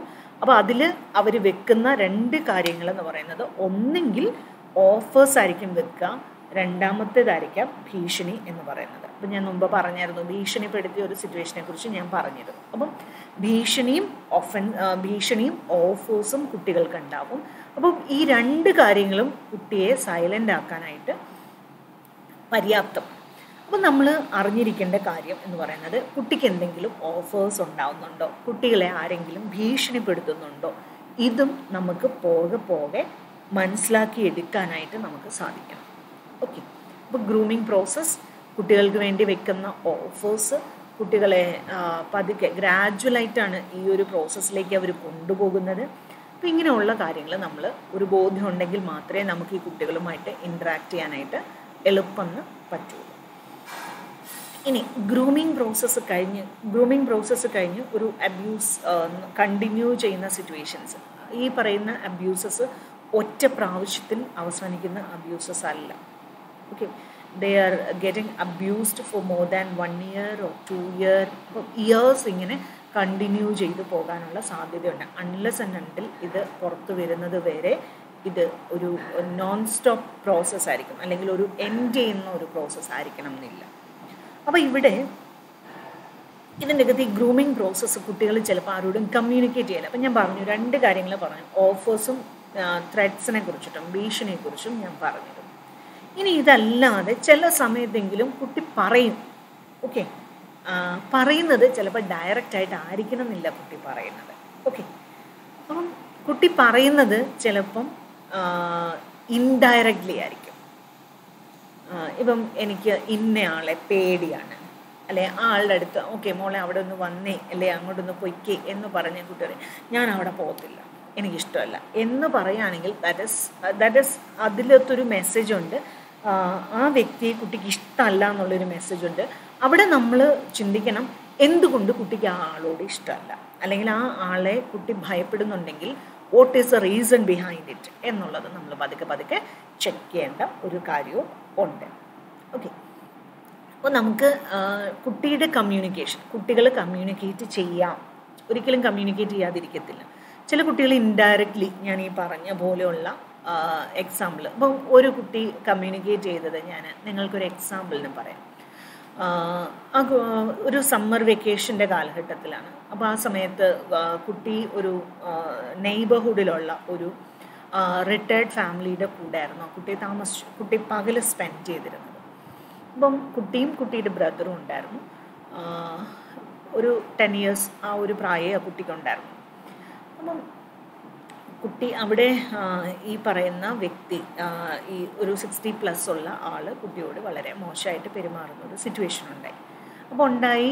ആ ദിവസം തന്നെ കുട്ടി അമ്മയുടെ അടുത്ത് പറഞ്ഞു അമ്മേ നാളെ മുതൽ ഞങ്ങൾ വീട്ടിലിരുന്നോളാം. ഞങ്ങൾ അവിടെ പോകുന്നില്ല. ഞാൻ വഴക്കുണ്ടാക്കില്ല ബഹളം വെക്കില്ല. അമ്മ ഫുഡ് മേശയെ വെച്ചാൽ മതി. അമ്മ വീട് പൂട്ടിപ്പോയിക്കോ? കുഴപ്പമില്ല. ഞങ്ങൾ വഴക്കൊന്നും ഉണ്ടാക്കില്ല എന്നൊക്കെ കുട്ടി പറഞ്ഞു. പക്ഷേ mother was not able to identify this ഞാൻ പറയും ആസ് എ ക്ലിനിക്കൽ സൈക്കോളജിസ്റ്റ് ഞാൻ പറയും this is a clear cut indication in direct communication okay അപ്പം അങ്ങനെ ഒരു ഇൻഡയറക്റ്റ് കമ്മ്യൂണിക്കേഷൻ വന്നപ്പം അമ്മയ്ക്ക് അത് മനസ്സിലാക്കാൻ പറ്റിയില്ല. ഇതൊരു ഇൻഡയറക്റ്റ് കമ്മ്യൂണിക്കേഷന്റെ ഒരു എക്സാമ്പിളാണ് ഇനി വേറൊന്ന് എന്ന് പറയുന്നത് വേറൊരു കമ്മ്യൂണിക്കേഷൻ എന്ന് പറയുന്നത് ഡയറക്റ്റ് കമ്മ്യൂണിക്കേഷൻ ഡയറക്റ്റ് കമ്മ്യൂണിക്കേഷന്റെ നമ്പേഴ്സ് എന്ന് പറയുന്നത് ലിമിറ്റഡ് ആയിരിക്കും. അതായത് നമ്പർ കുറവായിരിക്കും. When compared to indirect communication direct കമ്മ്യൂണിക്കേഷന്റെ number കുറവായിരിക്കും. പത്ത് കുട്ടികൾ ഇൻഡയറക്റ്റ്ലി കമ്മ്യൂണിക്കേറ്റ് ചെയ്യുമെങ്കിൽ ഒന്നോ രണ്ടോ കുട്ടികൾ മാത്രമായിരിക്കും ഡയറക്റ്റായിട്ട് കമ്മ്യൂണിക്കേറ്റ് ചെയ്യുക. കാരണം എന്താണെന്ന് ചോദിച്ചാൽ അവർക്ക് എക്സ്പോഷറൊന്നും ഇല്ല അറിയില്ല എന്താണ് സംഭവിക്കുന്നത് എന്നുള്ളതിനെക്കുറിച്ച് അറിയുകയും അപ്പോൾ ഇങ്ങനെയുള്ള ഒരു സിറ്റുവേഷൻസിൽ വെച്ചിട്ട് നമ്മൾ ഡയറക്റ്റ് കമ്മ്യൂണിക്കേഷൻ എന്ന് പറയുന്നതിന്റെ നമ്പർ വളരെ കുറവായിരിക്കും. ഇപ്പോൾ ഡയറക്റ്റ് കമ്മ്യൂണിക്കേഷൻ ഒരു എക്സാമ്പിൾ പറയുകയാണെങ്കിൽ പേരൻസിന്റെ അടുത്ത് തന്നെ അമ്മയുടെ അടുത്ത് കുട്ടി ചിലപ്പോൾ പറയും അമ്മ ആ അങ്കിൾ എന്നോട് മോശമായിട്ട് പെരുമാറി എന്ന് തന്നെ പറയാം. ഇല്ലെങ്കിൽ മമ്മിയുടെ അല്ലെങ്കിൽ ചിലപ്പോൾ റിലേറ്റീവ്സ് ആയിരിക്കാം. അങ്ങനെയുള്ളവരെ കുറിച്ച് തന്നെ കുട്ടി ചിലപ്പോൾ മോശമായിട്ട് കുട്ടി പറയും ഓക്കെ അവർ ശരിയല്ല അവർ മോശമായിട്ടാണ് പെരുമാറുന്നത് ഇങ്ങനെയൊക്കെ ഉള്ള കാര്യങ്ങൾ പറയാനുള്ള സാധ്യത വളരെ വളരെ വളരെ കൂടുതലാണ്. ഓക്കെ അപ്പം ഈ നമ്മൾ മനസ്സിലാക്കേണ്ട കാര്യം എന്ന് പറയുന്നത് ഇവർ ഡയറക്റ്റായിട്ട് കമ്മ്യൂണിക്കേറ്റ് ചെയ്യുന്നത് നമ്പർ വളരെ കുറവാണെന്ന് ഞാൻ പറഞ്ഞു. ഈ നമ്പർ കുറവാണെങ്കിലും ഹൗ വി റിയാക്ട് എന്നുള്ളതാണ് അടുത്ത ചോദ്യം പലപ്പോഴും പേരൻസിനെ സംബന്ധിച്ച് കുട്ടി ഇങ്ങനെ ഒരു കമ്മ്യൂണിക്കേഷൻ നടത്തി കഴിയുമ്പോൾ പേരൻസ് ഒരിക്കലും അത് അംഗീകരിക്കാറില്ല. കാരണം പേരൻസ് പറയും ഈ ആ ആളെ കുറിച്ച് അങ്ങനെ നമുക്ക് ചിന്തിക്കാൻ പോലും പറ്റാത്ത ഒരാളാണ് ഓക്കെ അപ്പോൾ അവരെ ഒന്ന് അവരെ ഒന്ന് കൺവിൻസ് ചെയ്തെടുക്കുക എന്ന് പറയുന്നത് as a counsellor it is a very ഒരു ഭയങ്കര ടീഡിയസ് ആയിട്ടുള്ള ഒരു വർക്കാണ് നമ്മൾ അവരെ കൺവിൻസ് ചെയ്ത് എടുക്കുക എന്ന് പറയുന്നത്. അപ്പം ഞാൻ പറഞ്ഞു വരുന്നത് നമ്മുടെ കമ്മ്യൂണിക്കേഷന്റെ അകത്ത് അപ്പം കുട്ടി കമ്മ്യൂണിക്കേറ്റ് ചെയ്യുന്നത് ഡയറക്റ്റായിട്ട് കമ്മ്യൂണിക്കേറ്റ് ചെയ്യാം. ഡയറക്റ്റായിട്ട് കമ്മ്യൂണിക്കേറ്റ് ചെയ്യുമ്പം നമ്മൾ ആസ് എ കൗൺസിലർ നമ്മൾ എങ്ങനെ റിയാക്ട് ചെയ്യുന്നു? അല്ലെങ്കിൽ ആസ് എ പേരന്റ് എങ്ങനെ റിയാക്ട് ചെയ്യുന്നു? പേരൻസിന്റെ റിയാക്ഷൻ എന്ന് പറഞ്ഞാൽ വളരെ ഡിഫറെന്റ് ആയിരിക്കും. ഇനി ഇൻഡയറക്റ്റ് ആയിട്ടാണ് കമ്മ്യൂണിക്കേറ്റ് ചെയ്യുന്നതെങ്കിൽ ഈ ഇൻഡയറക്റ്റ് കമ്മ്യൂണിക്കേഷൻ നമുക്ക് എങ്ങനെ മനസ്സിലാക്കാം എന്നുള്ളതിനെ കുറിച്ചിട്ടും നമുക്ക് ഒരു അണ്ടർസ്റ്റാൻഡിങ് ഉണ്ടാവണം എന്ന് നിർബന്ധമില്ല. മനസ്സിലായോ? അപ്പോൾ നമ്മൾ മനസ്സിലാക്കേണ്ടത് ഇൻഡയറക്റ്റ് കമ്മ്യൂണിക്കേഷൻ നമ്മൾ അത് ഒന്ന് അണ്ടർസ്റ്റാൻഡ് ചെയ്യാനുള്ള ഒരു ശ്രമം നമ്മുടെ ഭാഗത്ത് നിന്ന് എപ്പോഴും ഉണ്ടാവണം. കുട്ടി കമ്മ്യൂണിക്കേറ്റ് ചെയ്യും. ചിലപ്പോൾ ഡയറക്റ്റ് ആയിരിക്കും. വളരെ അപൂർവമായിട്ട് ഡയറക്റ്റ് കമ്മ്യൂണിക്കേഷൻ ഉണ്ടാവുള്ളൂ എന്നുള്ളത് ഒരു റിയാലിറ്റിയാണ് പക്ഷേ ഇൻഡയറക്റ്റ് കമ്മ്യൂണിക്കേഷൻ ഉണ്ടാവും. നമ്മൾ ആ ഇൻഡയറക്റ്റ് കമ്മ്യൂണിക്കേഷൻ അണ്ടർസ്റ്റാൻഡ് ചെയ്യണം എന്നുള്ളതാണ് അടുത്ത ഒരു പ്രധാനപ്പെട്ട ഫാക്ടർ ഇനി കുട്ടി സൈലന്റ് ആകാനുള്ള വേറൊരു കാരണം. സൈലന്റ് ആകാനുള്ള കാരണങ്ങളെക്കുറിച്ച് നമ്മൾ ഡിസ്കസ് ചെയ്യുകയാണെങ്കിൽ കുട്ടി സൈലന്റ് ആവാനുള്ള കാരണങ്ങളിൽ ഒരു കാരണം എന്ന് പറയുന്നത് ചിലപ്പം വീട്ടുകാർക്ക് ഈ വ്യക്തികളോടുള്ള ഒരു ട്രസ്റ്റ് ഉണ്ട്. ആ ട്രസ്റ്റ് ഇപ്പം എന്റെ പേരന്റ് എന്റെ അമ്മ ഈ ആന്റിയുടെ അടുത്ത് അല്ലെങ്കിൽ ഈ അങ്കിളിന്റെ അടുത്ത് എന്നെക്കുറിച്ച് ഡിസ്കസ് ചെയ്യാറുണ്ട്. അങ്ങനെ ഒരാളെക്കുറിച്ച് ഞാൻ മോശമായിട്ട് അമ്മയുടെ അടുത്ത് പറഞ്ഞാൽ അമ്മ അവരെ വിശ്വസിക്കില്ല അല്ലെ അമ്മ എന്നെ വിശ്വസിക്കില്ല എന്നുള്ള ഒരു ചിന്തയായിരിക്കും കുട്ടിക്ക് ഉണ്ടാവുക. അപ്പം ഈ ഒരു ചിന്ത എന്ന് പറയുന്നത് വളരെ വളരെ ഡേഞ്ചറസ് ആയിട്ടുള്ള ഒരു കാര്യമാണ്. അപ്പം അതുകൊണ്ട് തന്നെ കുട്ടികൾ കമ്മ്യൂണിക്കേറ്റ് ചെയ്യാതിരിക്കാനും സാധ്യതയുണ്ട്. ചെയ്യാതിരിക്കാനുള്ള റീസണാണ് ഞാൻ ഈ പറയുന്നത്. അപ്പം നമ്മൾ അവിടെ പേ ഇപ്പം ആസ് എ കൗൺസിലേഴ്സ് നിങ്ങൾ പേരൻസുമായിട്ട് കമ്മ്യൂണിക്കേറ്റ് ചെയ്യുമ്പം പേരൻസിന്റെ അടുത്ത് നമ്മൾ ഷെയർ ചെയ്യേണ്ട പ്രധാനപ്പെട്ട ഒരു കാര്യം എന്ന് പറഞ്ഞാൽ കുട്ടി എന്ത് പറഞ്ഞാലും യു ഷുഡ് ലിസൺ ഫസ്റ്റ് കുട്ടി പറയുന്നത് എന്താണെന്നുള്ള irrespective of the content you should listen then കുട്ടി പറയുന്ന കാര്യങ്ങളെ നമ്മൾ മുഖത്തടിച്ച പോലെ അങ്ങനെയല്ല എന്ന് പറഞ്ഞ് റിജക്റ്റ് ചെയ്യാനും പാടില്ല എന്നുള്ള ഒരു കമ്മ്യൂ ഒരു മെസ്സേജ് നമ്മൾ കുട്ടികളുടെ അടുത്ത് കമ്മ്യൂണിക്കേറ്റ് ചെയ്യണം. കുട്ടികളുടെ അടുത്തല്ല പേരൻസിന്റെ അടുത്ത് നമ്മൾ കമ്മ്യൂണിക്കേറ്റ് ചെയ്യണം. അപ്പം കമ്മ്യൂണിക്കേറ്റ് ചെയ്യാതിരിക്കുന്നതിനെ കുറിച്ചിട്ടുള്ള ഒരു വേറൊരു ടെക്നിക്കൽ കാര്യം എന്താണെന്ന് വെച്ചാൽ ഒരു സൈക്കോളജിക്കൽ സൈലൻസ് ക്രിയേറ്റ് ചെയ്യപ്പെടുന്നുണ്ട് കുട്ടികളുടെ ഇടയിൽ ആ സൈക്കോളജിക്കൽ സൈലൻസ് എന്താണെന്ന് ചോദിച്ചാൽ ഇപ്പം ഇന്ന് നമ്മൾ ഈ പറഞ്ഞ വണ്ടിപ്പെരിയാർ കേസിലെ കാര്യം പറഞ്ഞപ്പോൾ ഇന്ന് ഗീത മാഡം പറയണ്ടായി ഈ കുട്ടിക്ക് വളരെ പ്രോപ്പർ ആയിട്ടുള്ളൊരു സെക്സ് എഡ്യൂക്കേഷൻ അമ്മ കൊടുത്തിട്ടുണ്ടായിരുന്നു എന്ന് പറയും. ഓക്കെ നമുക്ക് ഓക്കെ ഉണ്ടായിരുന്നിരിക്കാം. ഉണ്ടെന്ന് തന്നെ നമുക്ക് വിശ്വസിക്കാം. പക്ഷേ ഈ എന്നിട്ട് പോലും കുട്ടി സൈലന്റ് ആയി എന്ന് പറയുന്നതാണ് ഈ ഓഫറിന്റെ ഒരു ഇമ്പോർട്ടൻസ് എന്ന് പറയുന്നത്. ഓക്കെ ഇനി എല്ലാ പേരൻസും ഇതുപോലെ കുട്ടികളുടെ അടുത്ത് കമ്മ്യൂണിക്കേറ്റ് ചെയ്യാറുണ്ടോ? ഒരിക്കലും കമ്മ്യൂണിക്കേറ്റ് ചെയ്യാറില്ല. ഈവൻ മെൻസ്ട്രൽ സൈക്കിളിനെ പറ്റി പോലും അല്ലെങ്കിൽ മെനാർക്കി അറ്റൈൻ ചെയ്യുന്നതിനെ പറ്റി പോലും അമ്മമാർ കുട്ടികളുടെ അടുത്ത് പ്രോപ്പറായിട്ട് കമ്മ്യൂണിക്കേറ്റ് ചെയ്യാത്തൊരു കാലഘട്ടത്തിലാണ് നമ്മൾ ജീവിക്കുന്നത്. അപ്പം പ്രോപ്പർ കമ്മ്യൂണിക്കേഷൻ അല്ലെങ്കിൽ പ്രോപ്പറായിട്ടുള്ളൊരു സെക്സ് എഡ്യൂക്കേഷൻ നമ്മുടെ വീടുകളിലൊന്നും നടക്കുന്നില്ല. അപ്പോൾ അങ്ങനെ ഇപ്പം അതൊരു ഒരു ഒരു ആസ്പെക്റ്റ് രണ്ടാമത്തെ ഒരു ആസ്പെക്റ്റ് എന്ന് പറയുന്നത് നമ്മുടെ പേരന്റിങ് എന്ന് പറയുന്നത് എപ്പോഴും ജെൻഡറിങ് ഉള്ള പേരന്റിങ് ആണ്. അതായത് പെൺ നീ ഒരു പെൺകുട്ടിയാണ് നീ എല്ലാവരെയും അനുസരിക്കണം നീ അവരോട് കയർത്ത് പറയാൻ പാടില്ല നാളെ മറ്റൊരു വീട്ടിൽ പോകേണ്ടതാണ് ഇങ്ങനെ ഒരുപാട് സോഷ്യലായിട്ടുള്ള സ്റ്റിഗ്മാസൊക്കെ നമ്മൾ അടിച്ച് കയറ്റി ടാബൂസൊക്കെ അടിച്ച് കയറ്റിയാണ് നമ്മൾ കുട്ടികളെ വളർത്തുന്നത്. അപ്പം അങ്ങനെ കേൾക്കുന്ന ഒരു കുട്ടിയെ സംബന്ധിച്ച് എപ്പോഴും പേരൻസിന്റെ പേരൻസ് എപ്പോഴും ഒരു ക്രിട്ടിക്കൽ ഇവാലുവേഷൻ മാത്രം നടത്തിക്കൊണ്ടിരിക്കുന്ന ഒരു സിറ്റുവേഷനിൽ വളരുന്ന ഒരു കുട്ടിയെ സംബന്ധിച്ച് ആ കുട്ടി ആരുടെ അടുത്തും ഒന്നും പറയില്ല. കാരണം ആ കുട്ടിയിൽ ഒരു സൈക്കോളജിക്കൽ ആയിട്ടുള്ള ഒരു സൈലൻസ് ക്രിയേറ്റ് ചെയ്യപ്പെട്ടിട്ടുണ്ട് എന്നുള്ളത് നമ്മൾ മനസ്സിലാക്കണം. അങ്ങനെ ഒരു സൈക്കോളജിക്കൽ സൈലൻസ് ക്രിയേറ്റ് ചെയ്യപ്പെട്ട് കഴിഞ്ഞാൽ എന്ത് ഇഷ്യൂ കുട്ടിക്ക് ഉണ്ടായാലും കുട്ടി അത് പറയില്ല. കാരണം പേരൻസ് എപ്പോഴും ഓക്കെ നീ ഒരു പെൺകുട്ടിയാണ്. നീ മറ്റുള്ളവരോട് എന്താ പറയുക മറ്റുള്ളവരോട് അവർ പറയുന്നത് കേൾക്കണം. മുതിർന്ന ആൾക്കാർ പറയുന്നത് കേൾക്കണം. ഇങ്ങനെയൊക്കെ ഉള്ള കാര്യങ്ങൾ മാത്രം കമ്മ്യൂണിക്കേറ്റ് ചെയ്യപ്പെടുന്ന ഒരു സിറ്റുവേഷൻ ഉണ്ടെങ്കിൽ ഒരു സൈക്കോളജിക്കൽ സൈലൻസ് അവിടെ ഉണ്ടാവുകയും ആ സൈക്കോളജിക്കൽ സൈലൻസ് എന്ന് പറയുന്നത് ശരിക്കും പറഞ്ഞാൽ നമ്മുടെ കുട്ടികളെ സൈലന്റ് ആക്കുകയും ചെയ്യുന്നുണ്ട് ഓക്കെ അപ്പം ഇങ്ങനെയുള്ള കാരണങ്ങളാലാണ് കുട്ടികൾ സൈക്കോളജിക്കലായിട്ടുള്ള സൈലൻസ് ക്രിയേറ്റ് എന്താ വെച്ചാൽ ഒരു വെബിനാറിൽ ക്ലാസ് എടുക്കുക ക്ലാസ് ആ ആ. സോറി കേട്ടോ ഇൻ ബിറ്റ്വീൻ ഒരു ഓക്കെ അപ്പം ഒരു സൈക്കോളജിക്കൽ സൈലൻസ് അവിടെ ക്രിയേറ്റ് ചെയ്യപ്പെടുകയും ചെയ്യുന്നുണ്ട്. അപ്പോൾ ഈ സൈക്കോളജിക്കൽ അപ്പം ഞാൻ മൂന്ന് കാര്യങ്ങളാണ് പറഞ്ഞത്. ഒന്ന് കുട്ടി പറയാ പറയുന്നത് രണ്ട് രീതിയിലാകാം. ഒന്ന് ഡയറക്റ്റ് കമ്മ്യൂണിക്കേഷൻ ആയിരിക്കാം ഒന്ന് ഇൻഡയറക്റ്റ് കമ്മ്യൂണിക്കേഷൻ ആയിരിക്കാം. പിന്നെ രണ്ടാമത്തെ കാര്യം എന്ന് പറയുന്നത് കുട്ടി മൂന്നാമത്തെ കാര്യം ഡയറക്റ്റ് കമ്മ്യൂണിക്കേഷൻ ഇൻഡയറക്റ്റ് കമ്മ്യൂണിക്കേഷൻ മൂന്ന് no communication at all no communication at all എന്ന് പറയുന്നത് ഒരു സൈലൻസ് കൊണ്ടാണ്. ഓക്കെ അപ്പം ഇതാണ് നമ്മൾ മനസ്സിലാക്കേണ്ട ഒരു പ്രധാനപ്പെട്ട ആസ്പെക്റ്റ് എന്ന് പറയുന്നത്. അപ്പം ഗ്രൂമിങ് ഗ്രൂമിങ്ങിനെ കുറിച്ച് നമ്മൾ പറഞ്ഞു. ആ പ്രോസസ്സിനെ കുറിച്ച് പറഞ്ഞു. ഒഫൻഡ് കുട്ടി സൈലന്റ് ആയിരിക്കുന്നതിനെ കുറിച്ച് പറഞ്ഞു. ഇങ്ങനെയൊക്കെ ഉള്ള കാര്യങ്ങൾ. ഇതൊരു റിയാലിറ്റിയാണ് അപ്പം നമ്മൾ ഓടിച്ചെന്ന് മോളെ ഒന്ന് പറഞ്ഞേ എന്ന് പറഞ്ഞാലോ മോനെ സംസാരിക്കൂ എന്ന് പറഞ്ഞാലോ ഒന്നും കുട്ടികളെ കമ്മ്യൂണിക്കേറ്റ് ചെയ്യില്ല. നമ്മൾ അവർക്ക് വെന്റിലേറ്റ് ചെയ്യാനുള്ള സമയം കൊടുക്കണം. അവർക്ക് സ്റ്റേബിൾ ആകാനുള്ള സമയം കൊടുക്കണം. ഇതൊക്കെ കഴിഞ്ഞ് ചിലപ്പോൾ അവരുടെ കൂടെ കളിക്കുക അവരുടെ കൂടെ ചിരിക്കുക അവരോട് കഥ പറയുക ഇങ്ങനെ ഒരുപാട് ഒരുപാട് മെത്തേഡ്സ് അല്ലെങ്കിൽ മെഷേഴ്സ് നമ്മൾ എടുത്തെങ്കിൽ മാത്രമേ കുട്ടികളെ നമ്മുടെ അടുത്ത് പതുക്കെ ഓപ്പൺ അപ്പ് ആവാൻ പറ്റുള്ളൂ. ഇനി ആസ് എ സ്കൂൾ കൗൺസിലർ നിങ്ങൾ പേരൻസിനെ കാണും. പേരൻസിനെ കാണുമ്പം നിങ്ങൾ കമ്മ്യൂണിക്കേറ്റ് ചെയ്യേണ്ട ചില കാര്യങ്ങൾ. ഒന്ന് സൈക്കോളജിക്കൽ സൈലൻസ് ക്രിയേറ്റ് ചെയ്യപ്പെടാതിരിക്കാനുള്ള മെഷേഴ്സ് നമ്മൾ പറഞ്ഞു കൊടുക്കണം രണ്ട് കുട്ടികൾ പറയുന്ന കാര്യങ്ങളെ മുഖവിലയിലേക്ക് എടുക്കുക അല്ലെങ്കിൽ be a good listener to your child എന്നുള്ള ഒരു മെസ്സേജ് കുട്ടികളുടെ പേരൻസിന്റെ അടുത്ത് നമ്മൾ കമ്മ്യൂണിക്കേറ്റ് ചെയ്യണം. പിന്നെ പേരൻസിന്റെ അടുത്ത് കുട്ടികൾ ഡയറക്റ്റായിട്ട് പറയുന്ന സിറ്റുവേഷൻസിൽ കുട്ടികളെ ബ്ലെയിം ചെയ്യരുത് എന്നുള്ള ഒരു വളരെ സ്ട്രോങ് ആയിട്ടുള്ള ഒരു മെസ്സേജും നമ്മൾ കുട്ടികളുടെ അടുത്ത് കമ്മ്യൂണിക്കേറ്റ് ചെയ്യുക തന്നെ വേണം.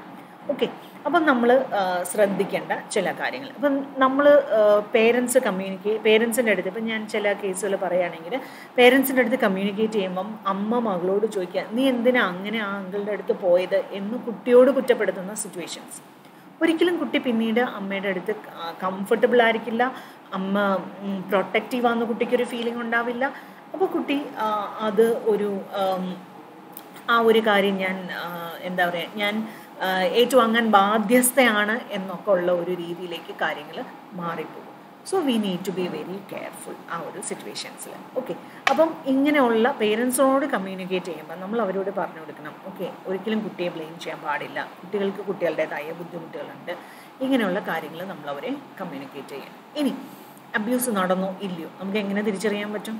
ദാറ്റ് ഇസ് അനദർ ഇഷ്യൂ കുട്ടികൾ കുട്ടികൾക്ക് നേരെ അതിക്രമങ്ങൾ നടക്കുന്നത്. ഇപ്പം നം ഞാൻ മുമ്പ് പറഞ്ഞു പ്രോസസ്സ് ഡിസ്കസ് ചെയ്തപ്പം ഇതൊരു ഇതൊരു വളരെ ലോങ് ടൈം എടുക്കുന്ന പ്രോസസ്സ് ആയിരിക്കാം. പ്രത്യേകിച്ചും ഒഫൻഡർ നോൺ പേഴ്സൺ ആണെങ്കിൽ ടെക്സ് ടൈം അപ്പം ഗ്രാജുവൽ പ്രോസസ്സ് ആയിരിക്കും. അപ്പോൾ ഈ പ്രോസസ്സിൽ കൂടെ കടന്നു വരുന്ന കുട്ടികളെ സംബന്ധിച്ച് അവരെ നമുക്ക് എങ്ങനെ ഐഡന്റിഫൈ ചെയ്യാം? കുട്ടികൾ അബ്യൂസ് ചെയ്യപ്പെടുന്നുണ്ടോ ഇല്ലയോ എന്നുള്ളത് നമുക്ക് എന്തെങ്കിലും തരത്തിൽ അറിയ ഐഡന്റിഫൈ ചെയ്യാനായിട്ടുള്ള പോസിബിലിറ്റി നമുക്ക് ഉണ്ടോ എന്നുള്ളതാണ് അടുത്ത ക്വസ്റ്റ്യൻ എന്ന് പറയുന്നത്.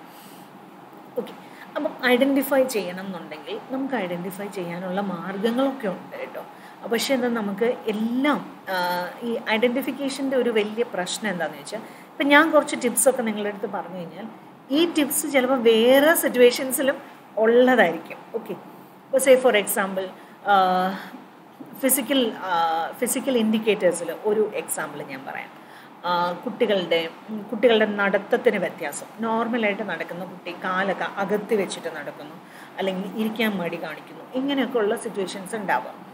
ഇപ്പം അങ്ങനെ ഒരു അതൊരു ഒരു രീതിയിൽ പറഞ്ഞാൽ ഒരു ഫിസിക്കൽ ഫിസിക്കൽ ഇൻഡിക്കേറ്ററാണ് ഇനി വേറെ ചില കാരണങ്ങൾ കൊണ്ടും കുട്ടിക്ക് അങ്ങനെ നടക്കാം. കുട്ടിക്ക് ഇരിക്കാൻ ബുദ്ധിമുട്ടുണ്ടാവുന്ന വേറെ സിറ്റുവേഷൻസും ഉണ്ടാവാം. അപ്പോൾ ഇങ്ങനെ ഒരു ഒരു കാര്യം മാത്രം കേട്ട് കഴിയുമ്പോഴേ നമ്മൾ പറയില്ലേ എന്തെങ്കിലും ഒരു സാധനം കിട്ടുമ്പോഴേ നമ്മൾ കാള പറ്റുമെന്ന് കേൾക്കുമ്പോഴേ കയറെടുക്കുന്നു എന്ന് പറയുന്ന രീതിയിൽ നമ്മൾ ചിന്തിക്കരുത്.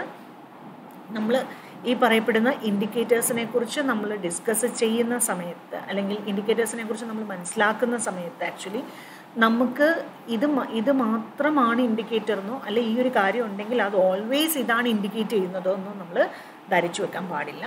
ദീസ് ആർ പോസിബിൾ ഇൻഡിക്കേറ്റേഴ്സ് ആ രീതിയിൽ മാത്രമേ നിങ്ങളിതിനെ പെർസീവ് ചെയ്യാവുള്ളൂ. ക്ലിയർ ആണോ ഞാൻ പറയുന്നത്? മനസ്സിലാക്കാൻ ബുദ്ധിമുട്ടുണ്ടോ ഞാൻ പറയുന്നത്? ഓക്കെ അപ്പം ഇൻഡിക്കേറ്റേഴ്സ് നമ്മൾക്ക് ബി ഫിസി ഫിസിക്കലായിട്ടുള്ള ഇൻഡിക്കേറ്റേഴ്സ് ഉണ്ട്. ഫിസിക്കലായിട്ടുള്ള ഇൻഡിക്കേറ്റേഴ്സ് എന്ന് പറയുന്നത് ഉദാഹരണം പറയുകയാണെങ്കിൽ നമുക്ക് എന്താ പറയുക ഇപ്പം ഞാൻ ഈ പറഞ്ഞ പോലെ നടത്തത്തിൽ വ്യത്യാസം വരിക ഇരിക്കാൻ ബുദ്ധിമുട്ട് ഉണ്ടാവുക പിന്നെ പ്രൈവറ്റ് പാർട്സിൽ പെയിൻ പറയുക ബ്ലഡ് സ്റ്റെയിൻ ഉണ്ടാവുക ഇൻഫെക്ഷൻസ് ഉണ്ടാവുക ഇങ്ങനെയൊക്കെ ഉള്ളത് ഫിസിക്കൽ ഇൻഡിക്കേറ്റേഴ്സിന്റെ പോസിബിൾ ആയിട്ടുള്ള ഇൻഡിക്കേറ്റേഴ്സാണ് ഇപ്പം റെഡ് കളറിൽ കിടക്കുക ഇങ്ങനെയുള്ളത്. പിന്നെ കുളിപ്പിക്കുമ്പം നീറ്റൽ അനുഭവപ്പെടുക. കരയുക ഇങ്ങനെയൊക്കെ ഉള്ള കാര്യങ്ങളൊക്കെ ഫിസിക്കൽ ഇൻഡിക്കേറ്റേഴ്സിൽ പെടുത്താവുന്ന കാര്യങ്ങൾ തന്നെയാണ്. പിന്നെ ചിലപ്പം ദേഹത്തൊക്കെ പാടുകൾ ഉണ്ടാവുക. ഇങ്ങനെയൊക്കെ ഉള്ളത് ഫിസിക്കൽ ഇൻഡിക്കേറ്റേഴ്സ് ആയിട്ട് നമുക്ക് കൺസിഡർ ചെയ്യാൻ പറ്റുന്ന കാര്യങ്ങളാണ്. ഇനി സൈക്കോളജിക്കൽ ആയിട്ടുള്ള അല്ലെങ്കിൽ ബിഹേവിയറൽ ആയിട്ടുള്ള ചില ഇൻഡിക്കേറ്റേഴ്സ് ഉണ്ട്. ബിഹേവിയറൽ ഇൻഡിക്കേറ്റേഴ്സിൽ ഒരു പ്രധാനപ്പെട്ട ബിഹേവിയറൽ ഇൻഡിക്കേറ്റർ ആണ് ആക്ടിങ് ഔട്ട് എന്ന് പറയുന്നത്. അതായത് ഇപ്പം ഞാനാണ് കുട്ടി എന്ന് വിചാരിക്കുക. എന്റെ അടുത്ത് ഒരാൾ മോശമായിട്ട് പെരുമാറി. ഞാൻ പോയിട്ട് അതേ ബിഹേവിയർ വേറൊരാളുടെ അടുത്ത് ചിലപ്പോൾ ചെയ്യാനുള്ള സാധ്യത വളരെ കൂടുതലാണ്. അപ്പോൾ കുട്ടികളെ സംബന്ധിച്ച് പ്രത്യേകിച്ചും അങ്ങനെ ചെയ്യാനുള്ള സാധ്യതയുണ്ട്. അപ്പം ഇങ്ങനെയുള്ള ആക്ടിങ് ഔട്ട് ബിഹേവിയേഴ്സ് എന്ന് പറയുന്നത് കുട്ടികളുടെ ഭാഗത്തുനിന്ന് ഉണ്ടാകാനുള്ള സാധ്യത വളരെ കൂടുതലാണ്. പ്രത്യേകിച്ച് ഇത് കൂടുതൽ കാണുന്നത് ആൺകുട്ടികളുടെ ഇടയിലാണ്. അപ്പോൾ ആൺകുട്ടികൾ സെക്ഷലി അബ്യൂസ്ഡ് ആകുന്ന കുട്ടികൾ ഇപ്പം ആ ആ ഇപ്പം ഞാനെന്ന് പറയുന്ന ഒരു കുട്ടിയോടാണ് ഒരാൾ ഒരു ഒരാൾ മോശമായിട്ട് പെരുമാറിയെന്ന് വിചാരിക്കുക. അപ്പം ഞാൻ പോയിട്ട് എന്ത് ചെയ്യും? ഞാൻ അടുത്ത കൂട്ടുകാരന്റെ അടുത്തും ഇത് പോയി പ്രയോഗിച്ചു നോക്കും. അല്ലെങ്കിൽ പയറ്റു നോക്കും. ഓക്കെ. അല്ലെങ്കിൽ ചെയ്തു നോക്കും. സോ ആ കുട്ടി ചിലപ്പം അടുത്തൊരു കുട്ടിയും ഇതുപോലെ വിക്ടിമൈസ് ചെയ്യാനുള്ള സാധ്യത വളരെ കൂടുതലാണ് ഇതിങ്ങനെ ഒരു ചെയിനായിട്ട് പോകാനുള്ള സാധ്യത പ്രത്യേകിച്ച് ആൺകുട്ടികളുടെ ഇടയിൽ ഉണ്ടാകാറുണ്ട്. ഇനി നമ്മൾ പെൺകുട്ടികളുടെ ഇടയിലാണെങ്കിലും സെക്ഷൽ അബ്യൂസിനെ പറ്റിയിട്ട് നമ്മൾ പറയുമ്പോൾ ഞാൻ എന്റെ ഒരു ഒബ്സർവേഷനാണ് അബ്യൂസ്ഡ് ആയിട്ടുള്ള കുട്ടികൾ തന്നെ ഒരു ഗ്യാങ് ഫോം ചെയ്യാറുണ്ട്. അവരുടെ ഇടയിൽ കമ്മ്യൂണിക്കേഷൻസ് ഉണ്ടാവാറുണ്ട്. പക്ഷെ അത് നമ്മൾ പലപ്പോഴും അറിയാറില്ല. ചിലപ്പോൾ നമുക്ക് ഈ ഈ കൂട്ടത്തിൽപ്പെട്ട ഒന്നോ രണ്ടോ കുട്ടികളെ കിട്ടിയാൽ ഒരു പറ്റം കുട്ടികളെ നമുക്ക് കൈ കിട്ടും. അപ്പം അത് നമ്മൾ വിജിലന്റ് ആയിരിക്കണം. അങ്ങനെയുള്ള പോസിബിലിറ്റീസ് ഒക്കെ ഉണ്ട് എന്നുള്ളത് നമ്മൾ അറിഞ്ഞിരിക്കണം. അപ്പം ബിഹേവിയറൽ ഇൻഡിക്കേറ്റേഴ്സ് പിന്നെ അൺവാണ്ടഡ് ആയിട്ടുള്ള സെക്ഷൽ കം ടോക്സ് കുട്ടികൾ ചെയ്യാം ഇപ്പം ഏജ് അപ്രോപ്രിയേറ്റ് അല്ലാത്ത സെക്ഷൽ ആയിട്ടുള്ള സംസാരങ്ങൾ ഈ കുട്ടികളുടെ ഭാഗത്തു നിന്ന് ഉണ്ടാവുക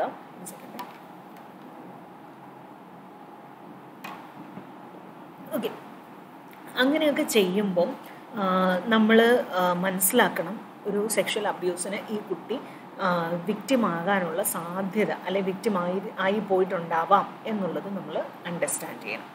അപ്പം നമ്മൾ അണ്ടർസ്റ്റാൻഡ് ചെയ്യേണ്ട കാര്യങ്ങളാണ് ഇതൊക്കെ. നമ്മൾ മനസ്സിലാക്കേണ്ട പ്രധാനപ്പെട്ട കാര്യങ്ങളുമാണിത്. അപ്പം നമ്മൾ ഈ കുട്ടികളോട് കമ്മ്യൂണിക്കേറ്റ് ചെയ്യുമ്പം അല്ലെങ്കിൽ ഈ കുട്ടികളുമായിട്ട് നമ്മൾ ഇന്ററാക്ട് ചെയ്യുമ്പം നമ്മൾ ഇങ്ങനെയുള്ള കാര്യങ്ങൾ ഇങ്ങനെയുള്ള ചില മൈന്യൂട്ട് എക്സ്പ്രഷൻസ് ഒക്കെ നമ്മൾ ശ്രദ്ധിക്കണം. എങ്കിൽ മാത്രമേ നമുക്ക് ഇവരെ പ്രോപ്പറായിട്ട് അണ്ടർസ്റ്റാൻഡ് ചെയ്യാനായിട്ട് നമുക്ക് പറ്റുള്ളൂ. അപ്പം ഇവരുടെ ഇടയിലുള്ള ചില ബിഹേവിയേഴ്സ് ചിലപ്പം സെക്ഷലി എക്സ്പ്ലിസിറ്റ് ആയിട്ടുള്ള മെസ്സേജസ് കുട്ടികൾ കമ്മ്യൂണിക്കേറ്റ് ചെയ്യാനുള്ള സാധ്യതകൾ വളരെ കൂടുതലാണ്. പിന്നെ സെക്ഷൽ കൊണോട്ടേഷനുള്ള ടോക്കുകൾ ഇവരുടെ ഇടയിൽ ഉണ്ടാകാനുള്ള സാധ്യത കൂടുതലാണ്. പ്രായത്തിൽ കവിഞ്ഞിട്ടുള്ള സെക്ഷൽ നോളജ് കുട്ടികളെ എക്സിബിറ്റ് ചെയ്യാനുള്ള സാധ്യത കൂടുതലാണ്. ഇതൊക്കെ ബിഹേവിയറൽ ആയിട്ടുള്ള ഇൻഡിക്കേഷൻസ് ആണ്. നമ്മൾ ശ്രദ്ധിച്ചാൽ മനസ്സിലാക്കാനായിട്ട് പറ്റുന്ന കാര്യങ്ങളാണ്. അപ്പോൾ ഇങ്ങനെയൊക്കെ നമുക്ക് ഐഡന്റിഫൈ ചെയ്യാനായിട്ട് പറ്റും. ഇനി വൺസ് വിക്റ്റിമായിട്ടുള്ള കുട്ടികൾക്ക് കുറേയേറെ സൈക്കോളജിക്കലായിട്ടുള്ള ഇഷ്യൂസ് ഉണ്ടാവാറുണ്ട്. അതിനെക്കുറിച്ച് നമുക്കൊരു അണ്ടർസ്റ്റാൻഡിങ് ഉണ്ടെങ്കിലും നമുക്ക് ഈ കുട്ടികളെ ഐഡന്റിഫൈ ചെയ്യാനായിട്ട് പറ്റാറുണ്ട്. അതായത് കോൺസിക്വൻസസ് സെക്ഷൽ അബ്യൂസിന്റെ ഒരു കോൺസിക്വൻസസിനെ കുറിച്ചൊരു ബോധ്യം ഉണ്ടെങ്കിലും നമുക്ക് ഇവരെ പെട്ടെന്ന് ഐഡന്റിഫൈ ചെയ്യാനും അവരെ മനസ്സിലാക്കാനും ഒക്കെ പറ്റും. അപ്പം അതിൽ ഒരു ബെസ്റ്റ് എക്സാമ്പിൾ എന്ന് പറയുന്നത് ഒരു സെക്കൻഡ് അതിനുള്ള ഒരു ബെസ്റ്റ് എക്സാമ്പിൾ എന്ന് പറയുന്നത്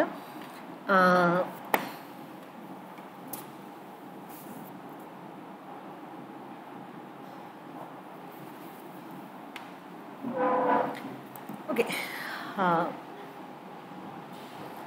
അപ്പോൾ കോൺസിക്വൻസസിനെ കുറിച്ച് നമുക്കൊരു അണ്ടർസ്റ്റാൻഡിങ് ഉണ്ടാവണം എന്തൊക്കെ തരത്തിലുള്ള കോൺസിക്വൻസസ് ആണ്? ഇമ്മീഡിയറ്റ് ആയിട്ടുള്ള കോൺസിക്വൻസസ് ഉണ്ടാകാം ഇപ്പോൾ ഫിസിക്കൽ ആയിട്ടുള്ള ഇൻഡിക്കേറ്റേഴ്സ് ഒക്കെ എന്ന് പറയുന്നത് ഇമ്മീഡിയറ്റ് ആയിട്ട് ഉണ്ടാവുന്ന കാര്യങ്ങളാണ്. ഇപ്പോൾ ചിലത് ലോങ് ടേം കോൺസിക്വൻസസ് ഉണ്ടാവും. ഈ ലോങ് ടേം കോൺസിക്വൻസസ് എന്ന് പറയുന്നത് ചിലപ്പോൾ ആ കുട്ടി അഡൾട്ടായി കഴിഞ്ഞിട്ടുണ്ടാകാൻ സാധ്യതയുള്ള കോൺസിക്വൻസസ് വരെ ലോങ് ടേം കോൺസിക്വൻസസിൽ പെടുന്ന കാര്യങ്ങളാണ് അപ്പോൾ നമുക്ക് ഈ കോൺസിക്വൻസസിനെ കുറിച്ച് പറയാം. ഇമ്മീഡിയറ്റ് ആയിട്ട് നമുക്ക് മനസ്സിലാക്കാൻ പറ്റുന്ന കാര്യം ഇമോഷണൽ ഡിസ്റ്റർബൻസസ് കുട്ടികൾ കാണിക്കാറുണ്ട്. വൈകാരികമായിട്ടുള്ള പ്രക്ഷുബ്ധതകൾ അല്ലെങ്കിൽ ഡിഫറൻസസ് അല്ലെങ്കിൽ ഡിസ്റ്റർബൻസസ് ഒക്കെ കുട്ടികൾ കാണിക്കാറുണ്ട്. അപ്പോൾ വൈകാരിക ഡിസ്റ്റർബൻസസിന്റെ അകത്തെ ചില കാര്യങ്ങളെന്ന് പറയുന്നത് പെട്ടെന്ന് കരയുക പെട്ടെന്ന് ദേഷ്യപ്പെടുക ഇറിറ്റേറ്റ് ഇറിറ്റബിൾ ആയിട്ടിരിക്കുക ഇങ്ങനെയൊക്കെ ഉള്ള കാര്യങ്ങൾ നമുക്ക് ഈ കുട്ടികളെ ഐഡന്റിഫൈ ചെയ്യാൻ നമ്മളെ സഹായിക്കുന്ന ഫാക്ടേഴ്സാണ് ഇനി ഈ കുട്ടികൾക്ക് വളരെ കൃത്യമായിട്ടുള്ള സ്ലീപ്പ് ഡിസ്റ്റർബൻസസ് ഉണ്ടാകാനുള്ള സാധ്യത വളരെ കൂടുതലാണ്. അപ്പോൾ സ്ലീപ്പ് ഡിസ്റ്റർബൻസസ് എന്ന് പറയുന്നത് ചിലപ്പം ഉറക്കം വരത്തില്ലായിരിക്കും ചിലപ്പോൾ ഉറങ്ങിക്കഴിഞ്ഞിട്ട് ഇടയ്ക്ക് എഴുന്നേ ഇടയ്ക്ക് പേടിച്ച് എഴുന്നേൽക്കുന്ന സാഹചര്യങ്ങൾ നൈറ്റ് മെയേഴ്സ് ഉണ്ടാകാനുള്ള സാധ്യത വളരെ കൂടുതലാണ്. പിന്നെ പേടിച്ച് എഴുന്നേൽക്കുക പിന്നെ ദുസ്വപ്നങ്ങൾ കാണുക. കരയുക ഉറക്കത്തിൽ കരയുക ഉറക്കത്തിൽ സംസാരിക്കുമ്പം ഇങ്ങനത്തെ സംസാരങ്ങളൊക്കെ വരിക ഇങ്ങനെയൊക്കെ ഉള്ള കാര്യങ്ങൾ നമുക്ക് ഈ ഉറക്കവുമായിട്ട് റിലേറ്റ് ചെയ്ത് നമുക്ക് കണ്ടുപിടിക്കാൻ പറ്റുന്ന ചില കാര്യങ്ങൾ കൂടിയാണ്. അപ്പം ഉറക്കവുമായിട്ട് ബന്ധപ്പെട്ടിട്ട് ഡിസ്റ്റർബൻസസ് ഉണ്ടാകാനുള്ള സാധ്യത വളരെ കൂടുതലാണ്. പിന്നെ കുട്ടികളെ സംബന്ധിച്ച് വളരെയധികം അക്കാഡമിക് ആയിട്ടുള്ള പിന്നോക്ക അവസ്ഥയിലേക്ക് അവർ പോകാനുള്ള സാധ്യത വളരെ കൂടുതലാണ്. അതുവരെ നന്നായിട്ട് പഠിച്ചുകൊണ്ടിരുന്ന കുട്ടിയാണ് എങ്കിൽ ഈ സെക്ഷൽ അബ്യൂസിന് വിക്റ്റമായി കഴിഞ്ഞതിന് ശേഷം കുട്ടികളുടെ ഇടയിൽ പഠനത്തിൽ പിന്നോക്ക അവസ്ഥ ഉണ്ടാവും. ഓൾ ഓഫ് എ സഡൻ എല്ലാ വിഷയത്തിനും തോക്കുക ഇങ്ങനെയൊക്കെയുള്ള കേസിൽ ഞാൻ കണ്ടിട്ടുണ്ട്. അപ്പോൾ നന്നായിട്ട് extra curricular activity co curricular ആക്ടിവിറ്റിയിലൊക്കെ involve ചെയ്തിരുന്ന കുട്ടികൾ ഓൾ ഓഫ് എ സഡൻ ഇതെല്ലാം നിർത്തി വെച്ചിട്ട് ഒന്നിലും താല്പര്യമില്ലാതാകുക എന്നൊക്കെ പറയുന്ന സിറ്റുവേഷൻസ് ഈ കുട്ടികൾക്ക് ഉണ്ടാകാറുണ്ട്. അപ്പം അവരെ ഐഡന്റിഫൈ ചെയ്യാനുള്ള മാർഗങ്ങളും അതായത് അവർക്കുണ്ടാകുന്ന കോൺസിക്വൻസസ് ആണിത് ഈ കോൺസിക്വൻസസിൽ കൂടെ നമുക്ക് ഇവരെ ഐഡന്റിഫൈ ചെയ്യാനായിട്ട് എളുപ്പം പറ്റും. പിന്നെ ചിലരെ സംബന്ധിച്ച് ആങ്സൈറ്റി ഡിസോർഡേഴ്സ് ആങ്സൈറ്റി ഫീച്ചേഴ്സ് കാണിക്കാറുണ്ട് ഡിപ്രസീവ് ഫീച്ചേഴ്സ് കാണിക്കാറുണ്ട്. ഇങ്ങനെയൊക്കെ ഉള്ള സിംറ്റംസ് ഈ കുട്ടികൾ വളരെയധികം കാണിക്കാറുണ്ട്. അപ്പം ഈ സിംറ്റംസ് ഒക്കെ ഉണ്ടെങ്കിൽ നമ്മൾ അണ്ടർസ്റ്റാൻഡ് ചെയ്യേണ്ട ഒരു കാര്യം എന്ന് പറയുന്നത് നമുക്ക് ഡൗട്ട് ചെയ്യാനുള്ള ഒരു പോസിബിലിറ്റിയേ ഉള്ളൂ കേട്ടോ. അല്ലാതെ ഈ സിംറ്റംസ് ഉണ്ടെങ്കിൽ ഇതെല്ലാം സെക്ഷൽ അബ്യൂസ് ആണ് എന്ന് നമ്മൾ കരുതി പോകരുത്. We need to doubt okay അവിടെ ഒരു സെക്ഷൽ അബ്യൂസ് നടന്നിരിക്കാനുള്ള സാധ്യതയുണ്ട് എന്നുള്ളത് നമ്മൾ മനസ്സിലാക്കണം. കാരണം ഇതൊന്നും നമുക്ക് ഇന്നത് ഇന്നത് മാത്രമാണ് സിംറ്റം എന്ന് നമുക്ക് പറയാനായിട്ട് പറ്റില്ല. These are possible indicators possible consequences അപ്പോൾ പഠനത്തിൽ പിന്നോക്കാവസ്ഥ വരുന്നു. മാതാപിതാക്കളോട് ആരെയും വിശ് മാതാപിതാക്കളോട് ഇഷ്ടമില്ല വിശ്വാസമില്ല ആരെയും വിശ്വാസമില്ല എന്ന് പറയുന്ന ഒരു സിറ്റുവേഷൻ ട്രസ്റ്റ് ചെയ്യുന്നത് ആരെയും വിശ്വാസമില്ല.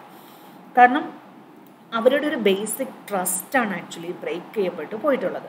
അപ്പം മറ്റുള്ളവരെ വിശ്വസിക്കാതിരിക്കുക ആരെയും ഇഷ്ടമില്ല എല്ലാ ചിലരെ പ്രത്യേകിച്ചും ആ ഒരു ഒഫൻഡറിന്റെ നേച്ചറുള്ള ആൾക്കാരെ ആ നേച്ചറിലുള്ള ആൾക്കാരെ കാണുകയാണെങ്കിൽ അവരുടെ ഫിസിക്കൽ ഫീച്ചേഴ്സിന് ഒത്ത് ഫിസിക്കൽ ഫീച്ചേഴ്സ് ഉള്ള ആൾക്കാരെ കാണുമ്പോൾ ചിലപ്പം എന്ത് ചെയ്യാം?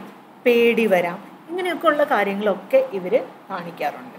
പിന്നെ ചിലരെ സംബന്ധിച്ച് ഡിസോസിയേറ്റീവ് സിംറ്റംസ് കാണിക്കാറുണ്ട്. അപ്പോൾ ചിലർ പറയും ബ്രീതിങ് ഡിഫിക്കൽട്ടി ഉണ്ടാവാം. കാരണം ഒഫൻഡറെ കണ്ടു. പോകുന്നു കാരണം ഈ ഒഫൻസ് ഒഫൻഡർ എന്ന് പറയുന്നത് is there in their society അവരുടെ സൊസൈറ്റിയിൽ അവരോടൊപ്പമുള്ള ആൾക്കാർ തന്നെയാണ് ഈ ഒഫൻഡേഴ്സ് ആയിട്ടുള്ളവർ അപ്പോൾ ഈ ഓഫൻഡറിനെ കാണുമ്പോഴത്തേക്കും ചില കുട്ടികൾ ഇപ്പം എല്ലാ കുട്ടികൾക്കും ഉണ്ടാവണമെന്നല്ല കേട്ടോ ഞാൻ പറഞ്ഞു വരുന്നത്. ചില കുട്ടികൾക്ക് ബ്രീതിങ് ഡിഫിക്കൽട്ടി ഉണ്ടാവും ചിലർ തലകറക്കം ഉണ്ടാവുന്നു അപ്പോൾ അവരെ കണ്ടു കണ്ടപ്പോൾ തലകറക്കം ഉണ്ടായി എന്ന് പറയുന്നത്. ചില സിറ്റുവേഷൻസിൽ ഒരു കൺവേർഷനൊക്കെ ഉണ്ടാകാനുള്ള സാധ്യത വളരെ കൂടുതലാണ്. അപ്പോൾ ഇങ്ങനെയുള്ള സിം ഇങ്ങനെയുള്ള കോൺസിക്വൻസസ് ശരിക്കും പറഞ്ഞാൽ ഈ കുട്ടികൾക്ക് ഉണ്ടാവുന്നുണ്ട്. ഈ കോൺസിക്വൻസസിനെ കുറിച്ച് നമുക്ക് നല്ല ധാരണയുണ്ടെങ്കിൽ തീർച്ചയായിട്ടും നമുക്ക് ഇവരെ ഐഡന്റിഫൈ ചെയ്യാനും ഇവരെ ഹെൽപ്പ് ചെയ്യാനും ഒക്കെ നമുക്ക് പറ്റും. പിന്നെ ഡിപ്രസീവ് ഫീച്ചേഴ്സ് കരയുക ഒന്നിലും താല്പര്യമില്ല വിഡ്രോൺ ചെയ്യുക അതുവരെ വളരെ ആക്റ്റീവായിട്ട് ഇരുന്ന കുട്ടികൾ എല്ലാ കാര്യത്തിൽ നിന്നും മാറി വിഡ്രോൺ ചെയ്ത് ഒറ്റപ്പെട്ടു പോകുന്ന ഒരു സിറ്റുവേഷൻ ഇങ്ങനെയൊക്കെ ഉള്ള കാര്യങ്ങളെന്ന് പറയുന്നത് ഈ ഒരു സാഹചര്യ ഇതിന്റെ ഒരു കോൺസിക്വൻസസിൽ പെടുന്ന കാര്യങ്ങളാണ്. പിന്നെ സെക്ഷൽ ഇൻ സെക്ഷൽ ഇൻഫെക്ഷൻസ് ഉണ്ടാവുക. പിന്നെ കുട്ടികളെ സംബന്ധിച്ച് ഡിസോസിയേറ്റീവ് ഡിസോർഡേഴ്സ് ഉണ്ടാകാനുള്ള സാധ്യത കൂടുതലാണ്. കൂടുതലും പിന്നെ ഇവർക്ക് കുറേ കുറേ നാളുകൾക്ക് ശേഷം നമ്മൾ ചിന്തിക്കുകയാണെങ്കിൽ അവർക്ക് ഫ്രീക്വന്റ് ആയിട്ട് അസുഖങ്ങൾ ഉണ്ടാകാനുള്ള സാധ്യത. ഒന്നല്ലെങ്കിൽ എപ്പോഴും എപ്പോഴും മാറി മാറി മെഡിക്കൽ അറ്റൻഷൻ സീക്ക് ചെയ്യുന്ന രീതിയിലുള്ള ബിഹേവിയേഴ്സ് ഒക്കെ ഇവരുടെ ഭാഗത്തു നിന്ന് ഉണ്ടാകാറുണ്ട്. പിന്നെ ഇതിന്റെ ഒരു ലോങ് ടേം കോൺസിക്വൻസസിലേക്ക് നമ്മൾ ചിന്തിക്കുകയാണെങ്കിൽ ലോങ് ടേം കോൺസിക്വൻസസിലുള്ള ഒരു പ്രധാനപ്പെട്ട കാര്യം അവർക്ക് സെക്സ് സെക്ഷുവാലിറ്റിയോട് അല്ലെങ്കിൽ സെക്സിനോടൊരു അവേർഷൻ ക്രിയേറ്റ് ചെയ്യപ്പെടാനുള്ള സാധ്യതയും അതുപോലെ തന്നെ ചിലരെ സംബന്ധിച്ച് സെക്സ് സെക്സിനോടൊരു ഓവർ എന്തൂസിയാസം ഉണ്ടാകാനുള്ള സാധ്യതയും ഇതിന്റെ പോസിബിലിറ്റീസാണ് അപ്പം ഇങ്ങനെയുള്ള കോൺസിക്വൻസസ് ഒക്കെ ഉണ്ട് എന്നുള്ളത് നമ്മൾ മനസ്സിലാക്കുക. അങ്ങനെ മനസ്സിലാക്കിയെങ്കിൽ മാത്രമേ ചില കാര്യങ്ങൾ നമുക്ക് പെട്ടെന്ന് ഐഡന്റിഫൈ ചെയ്യാൻ നമ്മളെ സഹായിക്കും. പിന്നെ ഇത് ഈ കോൺസിക്വൻസസ് ഉണ്ട് എന്നുള്ള ഒരു ബോധ്യം നമുക്കുണ്ടെങ്കിൽ മാത്രമേ ഈ കുട്ടികൾക്ക് കൃത്യമായിട്ടുള്ള ഒരു തെറപ്പി ആവശ്യമാണ് എന്നുള്ളത് നമുക്ക് മനസ്സിലാക്കാനായിട്ട് പറ്റുള്ളൂ. പല പല കേസുകളിലും കണ്ടിട്ടുള്ള കാര്യം സെക്ഷൽ അബ്യൂസിന് വിക്ടിംസായി അത് ഐഡന്റിഫൈ ചെയ്തതിന് ശേഷം പലരും ഇതിനെ അങ്ങ് നെഗ്ലക്റ്റ് ചെയ്യും. ഓക്കെ എന്നിട്ട് ചെയ്യുന്ന എന്താണെന്ന് വെച്ചാൽ കുട്ടിയെ ഭയങ്കരമായിട്ട് അങ്ങ് ചെയ്യും. അതായത് പിന്നെ എക്സ്ട്രാ കരിക്കുലർ ആക്ടിവിറ്റിയിലൊക്കെ പങ്കെടുത്തുകൊണ്ടിരുന്ന കുട്ടിയാണെങ്കിൽ ഒന്നിനും പോകണ്ട. വീട്ടിൽ തന്നെ എപ്പോഴും പേരൻസിന്റെ ഒരു വിജിലൻസിൽ അല്ലെങ്കിൽ നമ്മൾ പറയില്ലേ ഒരു റഡാറിന്റെ പരിധിക്ക് ഉള്ളിൽ വെച്ചുകൊണ്ടിരിക്കുക അപ്പോൾ കുട്ടിയുടെ ഫ്രീഡം മുഴുവൻ അവർ ഹനിച്ചു കളയും. ആക്ച്വലി കുട്ടിയുടെ പ്രശ്നം കൊണ്ടല്ല ആക്ച്വലി ഈ പ്രശ്നം ഉണ്ടായത്. ഇറ്റ് ഈസ് എ പ്രോബ്ലം അല്ലെങ്കിൽ ആ ഒരു ഇഷ്യൂ എന്ന് പറയുന്നത് വേറൊരാൾ ഈ കുട്ടിയോട് മോശമായിട്ട് പെരുമാറിയതാണ്. അതിന് കുട്ടിയെ നമ്മൾ ബലിയാടാക്കേണ്ട ആവശ്യം ഇല്ല. അപ്പം കുട്ടിക്ക് കെയർ വേണമെന്നും ഇതല്ല ചെയ്യേണ്ടത്. അവരെ റെസ്ട്രിക്റ്റ് ചെയ്യല്ല.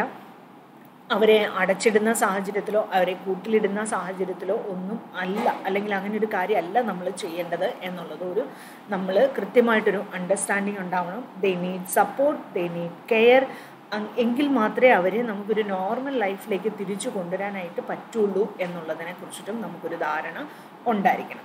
പിന്നെ അവ അവരുടെ ഒരു മാനേജ്മെന്റിനെ കുറിച്ച് നമ്മൾ ഞാൻ ഒത്തിരി ഡീറ്റെയിൽ ആയിട്ട് മാനേജ്മെന്റ് സൈറ്റിലേക്ക് പോകുന്നില്ല. കാരണം എന്താണെന്ന് വെച്ചാൽ മാനേജ്മെന്റ് ഇപ്പം ഒരു കുട്ടികളുടെ മാനേജ്മെന്റ് ആയിരിക്കില്ല അടുത്ത കുട്ടിക്ക് നമ്മൾ ചെയ്യേണ്ടതായിട്ട് വരിക. Based on the intensity of the abuse ആ അബ്യൂസിന്റെ ഇന്റൻസിറ്റിയുടെ ഒരു അതനുസരിച്ചിട്ടാണ് നമ്മൾ എന്ത് തരത്തിലുള്ള തെറപ്പി വേണം എന്നൊക്കെ ഉള്ളത്. നമുക്ക് ഡിസൈഡ് ചെയ്യാനും പ്ലാൻ ചെയ്യാനും ഒക്കെ പറ്റുള്ളൂ. കുട്ടി എത്രത്തോളം ട്രൊമറ്റൈസ്ഡ് ആണ് എന്നൊക്കെ ഉള്ളത് ആശ്രയിച്ചിട്ടാണ് തെറപ്പി നിൽക്കുന്നത്. തെറപ്പി ചെയ്യാനായിട്ട് അല്ലെങ്കിൽ ഡീറ്റെയിൽ ആയിട്ട് ഇവാലുവേറ്റ് ചെയ്ത് പ്രോപ്പറായിട്ട് തെറപ്പി ചെയ്യാൻ പറ്റുന്ന ആളുടെ അടുത്തേക്ക് റെഫർ ചെയ്യാമെന്നുള്ളതാണ് ഏറ്റവും ദ ബെസ്റ്റ് കാര്യം നമുക്ക് ചെയ്യാൻ പറ്റുന്നത്. ഇനി നിങ്ങൾ പോയിട്ട് നിങ്ങൾക്ക് ചെയ്യാൻ പറ്റുന്ന ചില കാര്യങ്ങൾ. നിങ്ങൾക്ക് help them to ventilate their emotions അവരുടെ ഇമോഷണൽ വെന്റിലേഷൻ അവർക്കൊരു സപ്പോർട്ടീവ് എൻവയോൺമെന്റ് ക്രിയേറ്റ് ചെയ്ത് കൊടുക്കുക. സപ്പോർട്ടീവ് സൈക്കോതെറപ്പി കൊടുക്കുക. ഇതൊക്കെ നമുക്ക് ചെയ്യാൻ പറ്റുന്ന കാര്യങ്ങളാണ്. പക്ഷേ അതിനപ്പുറത്തേക്ക് അവർക്ക് അവർ വളരെയധികം ട്രോമറ്റൈസ്ഡ് ആണെങ്കിൽ തീർച്ചയായിട്ടും അവർക്ക് പ്രോപ്പറായിട്ടുള്ള സൈക്കോതെറപ്പി തന്നെ വേണ്ടി വരും. And it takes time follow up ഒക്കെ ആവശ്യമായിട്ട് വരും. എങ്കിൽ മാത്രമേ ആ കുട്ടികളെ നമുക്കൊരു നോർമൽ ലൈഫിലേക്ക് തിരിച്ചു കൊണ്ടുവരാനായിട്ട് പറ്റുള്ളൂ.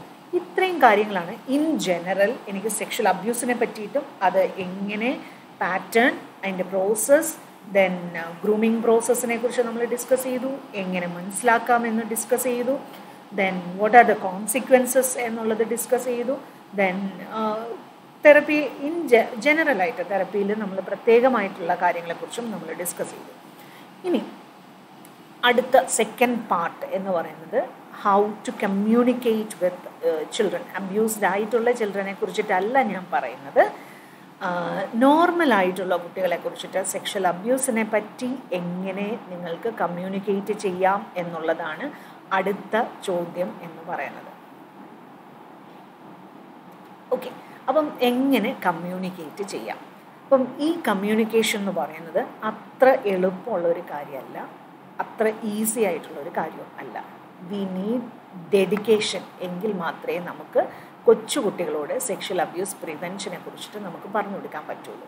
കാരണം ഞാൻ എന്റെ ഒരു പേഴ്സണൽ എക്സ്പീരിയൻസ് എന്ന് പറയുകയാണെങ്കിൽ ഞാൻ സെക്ഷൽ അബ്യൂസിനെ പറ്റിയിട്ട് അല്ലെ സെക്ഷൽ അബ്യൂസ് പ്രിവെൻഷൻ മോഡ്യൂൾ ഉണ്ടാക്കാൻ വേണ്ടിയിട്ട് ആണ് എന്റെ റിസർച്ച് ഞാൻ ചെയ്തത്. അപ്പോൾ ആ റിസർച്ച് ചെയ്ത് ഒരു വർഷമായപ്പോൾ ഞാൻ വിചാരിച്ചു എന്നെക്കൊണ്ട് പറ്റില്ല. എന്ന് വിചാരിച്ച് കാരണം ഞാൻ ഒരു ഫുൾ സ്റ്റോപ്പ് ഇടാം അല്ലെങ്കിൽ വേണ്ട എനിക്ക് പറ്റില്ല വേറൊരു ടോപ്പിക്കിലേക്ക് മാറാം എന്ന് പറയുന്ന ഒരു അത്രയ്ക്കൊരു ക്രൈസിസ് ഒരു വർഷം കൊണ്ട് ഞാൻ അങ്ങനെ ഒരു ക്രൈസിസ് വരെ ഞാൻ എത്തിയിരുന്നു. കാരണം എന്താണെന്ന് ചോദിച്ചാൽ നമുക്ക് നമ്മൾ തിയറട്ടിക്കലായിട്ട് പറയുമ്പോഴും അല്ലെങ്കിൽ നമ്മൾ ലോജിക്കലായിട്ട് തിങ്ക് ചെയ്യുമ്പോഴും ഒക്കെ ഇത് പറയുക എന്ന് പറയുന്നത് നമുക്ക് വേണേൽ പറയാൻ പറ്റും എന്നുള്ളൊരു ഒരു നമുക്ക് തിയറി നോളജ് ഉണ്ടായിരിക്കും.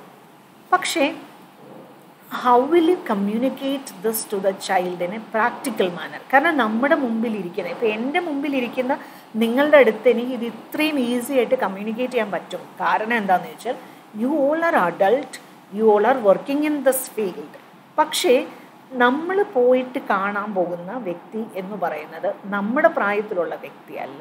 പന്ത്രണ്ടല്ലേ പത്തല്ലേ പന്ത്രണ്ട് വയസ്സ് താഴെയുള്ള കുട്ടികളായിരിക്കും. ഇവരുടെ അടുത്ത് ഇതെങ്ങനെ കമ്മ്യൂണിക്കേറ്റ് ചെയ്യും എന്നുള്ളത് ഒരു വലിയ ക്വസ്റ്റ്യൻ ആണ്.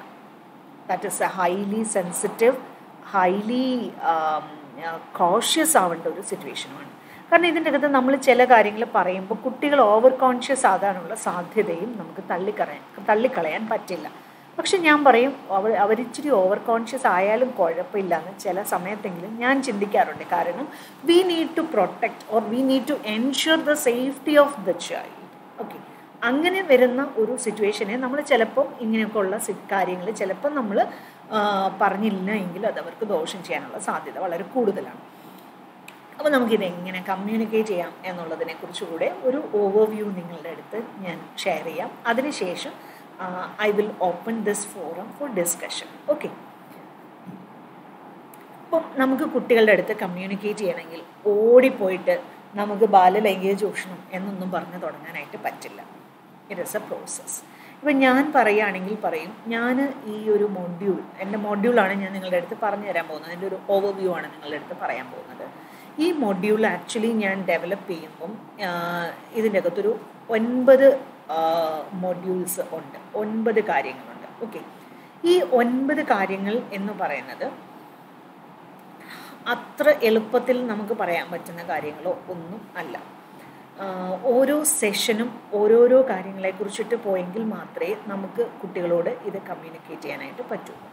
അപ്പം ആദ്യമേ പോയിട്ട് സെക്ഷൽ അബ്യൂസിനെ പറ്റിയിട്ടോ സെക്ഷുവാലിറ്റിയെ കുറിച്ചിട്ടോ ഒന്നും നമുക്ക് പറയാനായിട്ട് പറ്റില്ല. ഇപ്പം നിങ്ങൾ സ്കൂളിൽ നിങ്ങൾ സ്കൂൾ കൗൺസിലേഴ്സാണ് അപ്പോൾ ഈ സ്കൂൾ കൗൺസിലേഴ്സിന്റെ അടുത്ത് നിങ്ങൾ പോയി അല്ല സ്കൂൾ കൗൺസിലേഴ്സിന്റെ അടുത്ത് കുട്ടികൾ വരുമ്പം അവർ പല രീതിയിലുള്ള ഇഷ്യൂസ് ഫേസ് ചെയ്യുന്നവരും ഒക്കെ ആയിരിക്കാം. അപ്പോൾ നമ്മൾ മനസ്സിലാക്കേണ്ട കാര്യം നമുക്ക് ഓൾ ഓഫ് എ സഡൻ ചെന്നിട്ട് ക്ലാസ്സിൽ ചെന്നിട്ട് സെക്ഷൽ അബ്യൂസിനെ പറ്റിയിട്ടൊന്നും നമുക്ക് പറയാനായിട്ട് പറ്റിയില്ല. അപ്പോൾ നമ്മൾ we need to create an environment okay അങ്ങനെ ഒരു കുറച്ച് കാര്യങ്ങൾ ചേർത്തിട്ടാണ് ഞാൻ നിങ്ങളുടെ അടുത്ത് ഇതിനെക്കുറിച്ചിട്ട് പറയാൻ പോകുന്നത്. സോ ഫസ്റ്റ് ഓഫ് ഓൾ നമ്മൾ ആദ്യം ഇൻട്രൊഡ്യൂസ് ചെയ്യേണ്ട കോൺസെപ്റ്റ് എന്ന് പറയുന്നത് കോൺസെപ്റ്റ് ഓഫ് സേഫ്റ്റി എന്നുള്ള കോൺസെപ്റ്റാണ് നമ്മൾ ആദ്യം ഇൻട്രൊഡ്യൂസ് ചെയ്യേണ്ടത്. കാരണം ജനറൽ സേഫ്റ്റിയെ കുറിച്ചിട്ട് ഒരു അണ്ടർസ്റ്റാൻഡിങ് ഉണ്ടെങ്കിൽ പേഴ്സണൽ സേഫ്റ്റിയിലേക്ക് നമുക്ക് എത്തിപ്പെടാനായിട്ട് പറ്റും. അപ്പം ജനറൽ സേഫ്റ്റി എന്ന് പറയുന്നത് വളരെ ഇമ്പോർട്ടന്റ് ആയിട്ടുള്ളൊരു കാര്യമാണ്. അപ്പോൾ ജനറൽ സേഫ്റ്റിയെ കുറിച്ചിട്ട് നമുക്ക് കുട്ടികളുടെ അടുത്ത് ചില ചോദ്യങ്ങളൊക്കെ ചോദിക്കാം അല്ലേ? നമ്മൾ ചോദിക്കാം നമ്മൾ വീട്ടിൽ തീയിൽ തൊട്ടാൽ പൊള്ളും അല്ലേ? എന്ന് നമ്മൾ പറഞ്ഞു കൊടുക്കാറുണ്ട് അപ്പം അങ്ങനെ ജനറൽ വെള്ളത്തിൽ വെള്ള വെള്ളത്തിൽ ഒഴുകു നമ്മൾ കെട്ടിക്കിടക്കുന്ന വെള്ളമൊക്കെ ആണെങ്കിൽ നമ്മൾ സൂക്ഷിക്കണം എന്നൊക്കെയുള്ള കാര്യങ്ങൾ പറയും. കത്തി വെപ്പൺസ് യൂസ് ചെയ്യുമ്പോൾ നമ്മൾ കെയർഫുൾ ആയിരിക്കണം എന്ന് പറയും. കൊച്ചുകുട്ടികൾ കത്തിയൊന്നും എടുക്കരുതെന്ന് നമ്മൾ പറയും. ഇങ്ങനെയൊക്കെയുള്ള ജനറൽ ആയിട്ടുള്ള സേഫ്റ്റിയെ കുറിച്ചിട്ട് ഇനി റോഡിൽ കൂടെ പോകുമ്പോൾ നമ്മൾ എങ്ങനെ നടക്കണം എന്നാണ് പറയുക? ഏത് സൈഡിൽ കൂടെ നടക്കണം എന്നാണ് പറയുക? ട്രാഫിക് റൂൾസിനെ കുറിച്ച് പറയാം. ഇതൊക്കെ കുട്ടികൾക്ക് ഒരു പരിധിവരെ അവയർനെസ് ഉള്ള കാര്യങ്ങളാണ്. സോ ഈ കാര്യങ്ങളെ കുറിച്ചിട്ട് നമ്മൾ കുട്ടികളുടേതായ ഒരു ലാംഗ്വേജിൽ നമ്മൾ കമ്മ്യൂണിക്കേറ്റ് ചെയ്യണം. ദാറ്റ് ഈസ് വെരി ഇമ്പോർട്ടന്റ് അത് അത്ര എളുപ്പമുള്ളൊരു കാര്യമല്ല. ഇപ്പം നിങ്ങൾ സ്കൂളിൽ പോയിട്ട് ഒരു ഒന്നാം ക്ലാസ്സിൽ രണ്ടാം ക്ലാസ്സിൽ ഞാൻ ഈ മോഡ്യൂൾ ഒരു ഒന്നാം ക്ലാസ് തൊട്ടുള്ള കുട്ടികൾക്ക് ഞാൻ കൊടുത്തിട്ടുണ്ട്. അതേസമയം എന്നോടൊരു കെ ജി സ്കൂളിൽ പോയിട്ട് ഇത് ചെയ്യാൻ പറഞ്ഞപ്പോൾ എനിക്ക് ധൈര്യമില്ലായിരുന്നു അന്ന്. ഉള്ള കാര്യം പറയാമല്ലോ പക്ഷെ ഇന്നാണെങ്കിൽ ഞാൻ ധൈര്യമായിട്ട് പറയും. ഞാൻ ചെയ്യാമെന്ന് തന്നെ പറയും. ദാറ്റ് ഇസ് ദാറ്റ് മീ അതെന്താണെന്ന് വെച്ചാൽ ഇത്രയും കാലങ്ങളായിട്ട് ഇത് കൊണ്ടു നടക്കുന്നു എന്നുള്ളത് കൊണ്ടുണ്ടായ ഒരു എക്സ്പീരിയൻസാണ് അപ്പോൾ നമുക്ക് ആദ്യം ജനറൽ സേഫ്റ്റിയെ കുറിച്ചിട്ട് പറഞ്ഞു തുടങ്ങാം അതുപോലെ നമ്മൾ ചെയ്യേണ്ട രണ്ടാമത്തെ ഒരു പോയിന്റ് എന്ന് പറയുന്നത് ജനറൽ സേഫ്റ്റി ആൻഡ് പ്രിവെൻഷൻ എന്നുള്ള ഒരു കോൺസെപ്റ്റ് നമ്മൾ മനസ്സിലാക്കണം. പ്രിവെൻഷൻ എന്നുള്ളതും നമ്മൾക്ക് ഇൻട്രൊഡ്യൂസ് ചെയ്യേണ്ട ഒരു കോൺസെപ്റ്റാണ് അപ്പം ഷോക്ക് അടിക്കാതിരിക്കാൻ വേണ്ടിയിട്ട് ഞാൻ എന്ത് ചെയ്യണം? ഞാൻ പോയിട്ട് പ്ലഗിന്റെ അകത്ത് ഈർക്കിലി ഒന്നും കൊണ്ട് കുത്തിക്കയറ്റാൻ പാടില്ല. എന്നുള്ളത് നമ്മൾ പഠിപ്പിക്കുന്നുണ്ട് അല്ലേ?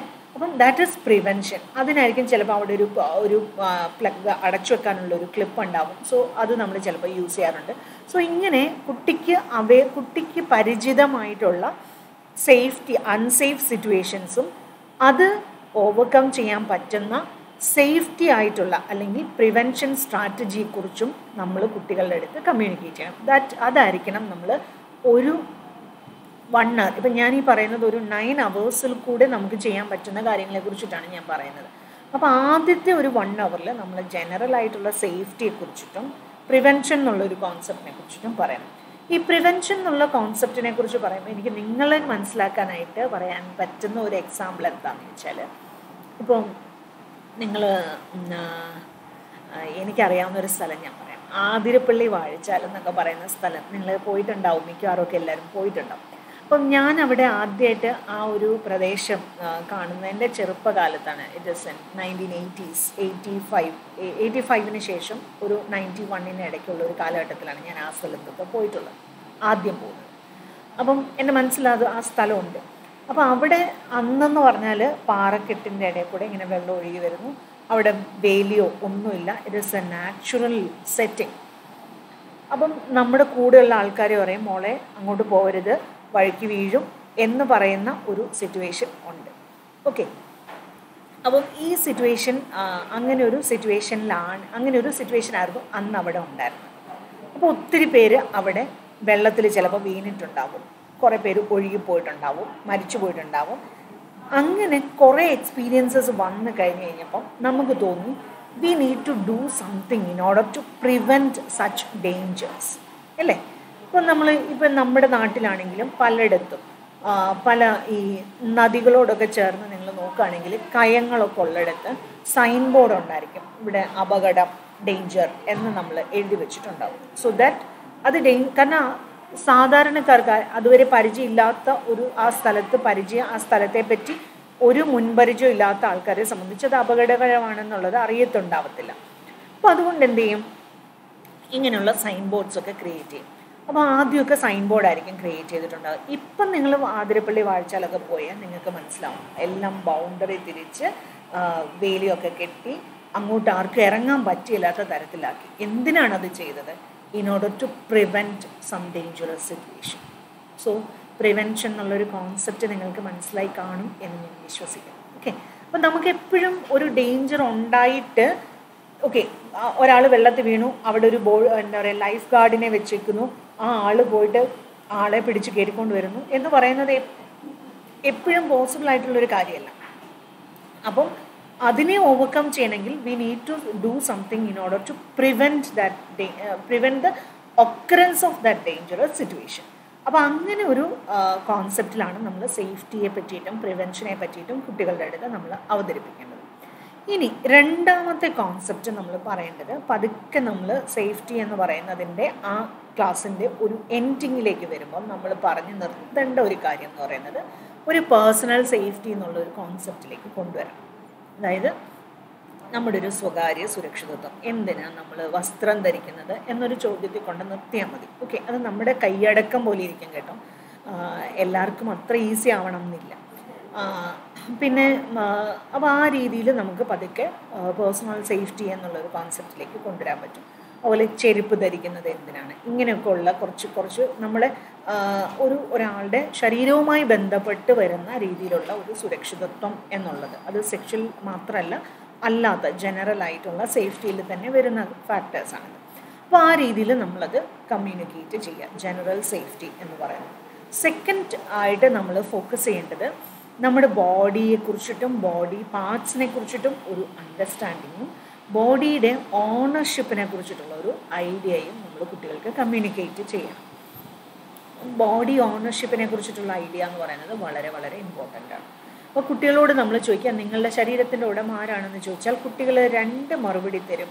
ഒന്നെങ്കിൽ ദൈവമാണെന്ന് പറയും അല്ലെങ്കിൽ മാതാപിതാക്കളാണെന്ന് പറയും. മൂന്നാമത്തെ മറുപടി ഞാനാണ് എന്നുള്ളത് കുട്ടികൾക്ക് സാധാരണഗതിയിൽ അവയർനെസ് ഉണ്ടാവില്ല. സോ അവിടെ നമുക്ക് ചില എക്സാമ്പിൾസ് ഒക്കെ കൊടുത്ത് ഓണർഷിപ്പ് എന്നുള്ളൊരു കോൺസെപ്റ്റ് അതായത് എന്റെ എന്റെ ശരീരം എന്റേതാണ് എന്നുള്ളൊരു കോൺസെപ്റ്റ് കുട്ടികളിൽ ഉണ്ടാക്കിയെടുക്കാനായിട്ട് നമുക്ക് പറ്റും. അതാണ് second thing which we need to incorporate അവിടെ ബോഡി പാർട്സിനെ കുറിച്ചിട്ടുള്ള ഒരു അവയർനെസ് കൊടുക്കാം. ഇങ്ങനെയുള്ള കാര്യങ്ങളൊക്കെ നമുക്ക് അവിടെ ചെയ്യാൻ പറ്റും. ബോഡി പാർട്സിനെ പറ്റിയിട്ട് പ്രൈവറ്റ് ബോഡി പാർട്സ് തന്നെ വേണമെന്നില്ല. ഇൻ ജനറൽ ആയിട്ട് ബോഡി പാർട്സിനെ കുറിച്ചിട്ടുള്ള അവയർനെസ് നമുക്ക് കൊടുക്കാം മൂന്നാമത്തേതാണ് സേഫ് അൺസേഫ് കണ്ടിന്യൂത്തെ കുറിച്ചിട്ട് നമ്മൾ പറയാം. അതായത് ഇപ്പം ബോഡി ഓണർഷിപ്പ് ശരീരം എന്റെ സ്വത്താണ് എന്നുള്ള ഒരു ബോധ്യം കുട്ടിക്ക് ഉണ്ടാകുകയാണെങ്കിൽ തീർച്ചയായിട്ടും അത് പ്രൊട്ടക്റ്റ് ചെയ്യാൻ അത് പ്രൊട്ടക്റ്റ് ചെയ്യുക എന്നുള്ളതും എന്റെ ഒരു റെസ്പോൺസിബിലിറ്റിയുടെ ഭാഗമാണ് എന്നുള്ള ഒരു അണ്ടർസ്റ്റാൻഡിങ് നമ്മൾ കുട്ടികൾക്ക് ഉണ്ടാക്കി കൊടുക്കുന്നുണ്ട്. ഓക്കെ അപ്പോൾ ആ ഒരു അണ്ടർസ്റ്റാൻഡിങ് ഉണ്ടാക്കി കൊടുത്തു കഴിയുമ്പോൾ നമുക്ക് പറയാൻ പറ്റും ചില കാര്യങ്ങളൊക്കെ സേഫ് ഉണ്ട്. ചില കാര്യങ്ങൾ കൺഫ്യൂസിങ് ഉണ്ട്. ചില കാര്യങ്ങൾ അൺസേഫ് ഉണ്ട്. എല്ലാം സേഫും എല്ലാം അൺസേഫും എല്ലാം കൺഫ്യൂസിങ് അല്ല. ഈ കാര്യങ്ങളൊക്കെ ഇതിന്റെ അകത്ത് ഇപ്പം നമ്മളൊരു ഒരു നമ്മൾ നമ്മളോട് മോശമായിട്ട് പെരുമാറുന്ന പല വഴികളുണ്ടെങ്കിൽ എല്ലാ വഴിയും എല്ലായ്പ്പോഴും സേഫ് എല്ലായ്പ്പോഴും അൺസേഫ് ആവണം എന്നില്ല സേഫ് ഉണ്ട് അൺസേഫ് ഉണ്ട് എന്നുള്ളതിനെ കുറിച്ചിട്ട് ഒരു അണ്ടർസ്റ്റാൻഡിങ് നമുക്ക് ഉണ്ടാവണം. അപ്പം ആ ഒരു അണ്ടർസ്റ്റാൻഡിങ് ഇപ്പം നമ്മളൊരു സേഫ്റ്റി അൺസേഫ്റ്റി കൺഫ്യൂസിങ് എന്നുള്ളൊരു കണ്ടിന്യൂ നമ്മൾ നമ്മുടെ കുട്ടികൾക്ക് എസ്റ്റാബ്ലിഷ് ചെയ്ത് കൊടുക്കണം. അപ്പോൾ അത് എസ്റ്റാബ്ലിഷ് ചെയ്ത് കൊടുക്കുന്ന സമയത്ത് നമ്മൾ മനസ്സിലാക്കേണ്ട ഒരു കാര്യമുണ്ട്. പലരും പറയാറുണ്ട് ഗുഡ് ബാഡ് എന്നുള്ളൊരു കോൺസെപ്റ്റ് പറയാറുണ്ട്. ഗുഡ് ബാഡ് എന്നൊക്കെ പറയുന്നത് ശരിക്കും പറഞ്ഞാൽ നമുക്ക് അത് അതിനേക്കാളൊക്കെ ഏറ്റവും അനുയോജ്യമായിട്ടുള്ളതും ഏറ്റവും നന്നായിട്ടുള്ളത് എന്ന് പറയുന്നത് സുരക്ഷിതം അല്ലെങ്കിൽ കൺഫ്യൂസിങ് അല്ലെങ്കിൽ അൺസേഫ് എന്നൊക്കെ പറയുന്നത് തന്നെയാണ്. അതാണ് ടെക് നമ്മൾ ഗുഡ് എന്ന് പറയുന്നത്. ഇപ്പോൾ എനിക്ക് ഗുഡായിട്ട് തോന്നുന്ന കാര്യം വേറൊരാൾക്ക് ഗുഡ് ആവണം എന്നില്ല. ഓക്കെ അതേസമയം സേഫ് അൺസേഫ് കൺഫ്യൂസിങ് എന്ന് പറയുന്ന ഒരു ഗ്ലോബൽ ഫിനോമിനനാണ് ഓക്കെ അപ്പോൾ ആ ഗ്ലോബൽ ഫിനോമിനെ കുറിച്ചിട്ട് നമ്മളൊരു അണ്ടർസ്റ്റാൻഡിങ് കുട്ടികൾക്ക് ഉണ്ടാക്കി കൊടുക്കണം. അപ്പോൾ അവിടെ നമുക്ക് ചെയ്യാൻ പറ്റുന്ന ചില കാര്യങ്ങളെന്ന് പറയുന്നത് ഇതിന് ഏതൊരു ഇവന്റ് ആണെങ്കിലും അതിനൊരു മൂന്ന് സോങ്സ് ഉണ്ട് എന്നുള്ളത് നമ്മൾ കുട്ടികൾക്ക് പറഞ്ഞു കൊടുക്കണം. ആ മൂന്ന് സോണാണ് സേഫ് കൺഫ്യൂസിങ് അൺസേഫ് ഇപ്പം ഒരു ഉദാഹരണം പറയുകയാണെങ്കിൽ നമ്മൾ ട്രാഫിക് ലൈറ്റിന്റെ കളേഴ്സിനോട് അതിനെ നമ്മൾ ഉപമിച്ചാൽ മതി. അപ്പം കുട്ടികളെ സംബന്ധിച്ച് അത് എളുപ്പം അണ്ടർസ്റ്റാൻഡ് ചെയ്യാനായിട്ട് പറ്റും. അപ്പോൾ നമ്മൾ മനസ്സിലാക്കുക ട്രാഫിക്കിൽ red indicates danger yellow indicates okay be cautious എന്നുള്ളതിനെ കുറിച്ചിട്ടാണെങ്കിൽ ഗ്രീൻ ഇൻഡിക്കേറ്റ്സ് സേഫ് അപ്പം അങ്ങനെ നമ്മൾ ഓരോന്നിനെയും അതായത് നമ്മുടെ ജീവിതത്തിൽ സംഭവിക്കാൻ സാധ്യതയുള്ള ഹേർട്ട് ചെയ്യപ്പെടാൻ സാധ്യതയുള്ള പല കാര്യങ്ങളുണ്ടെന്നും അതിനെ ഇങ്ങനെ പല തലങ്ങളുണ്ട് എന്നും ഉള്ള ഒരു മെസ്സേജ് നമ്മൾ കുട്ടികൾക്ക് കമ്മ്യൂണിക്കേറ്റ് ചെയ്യണം.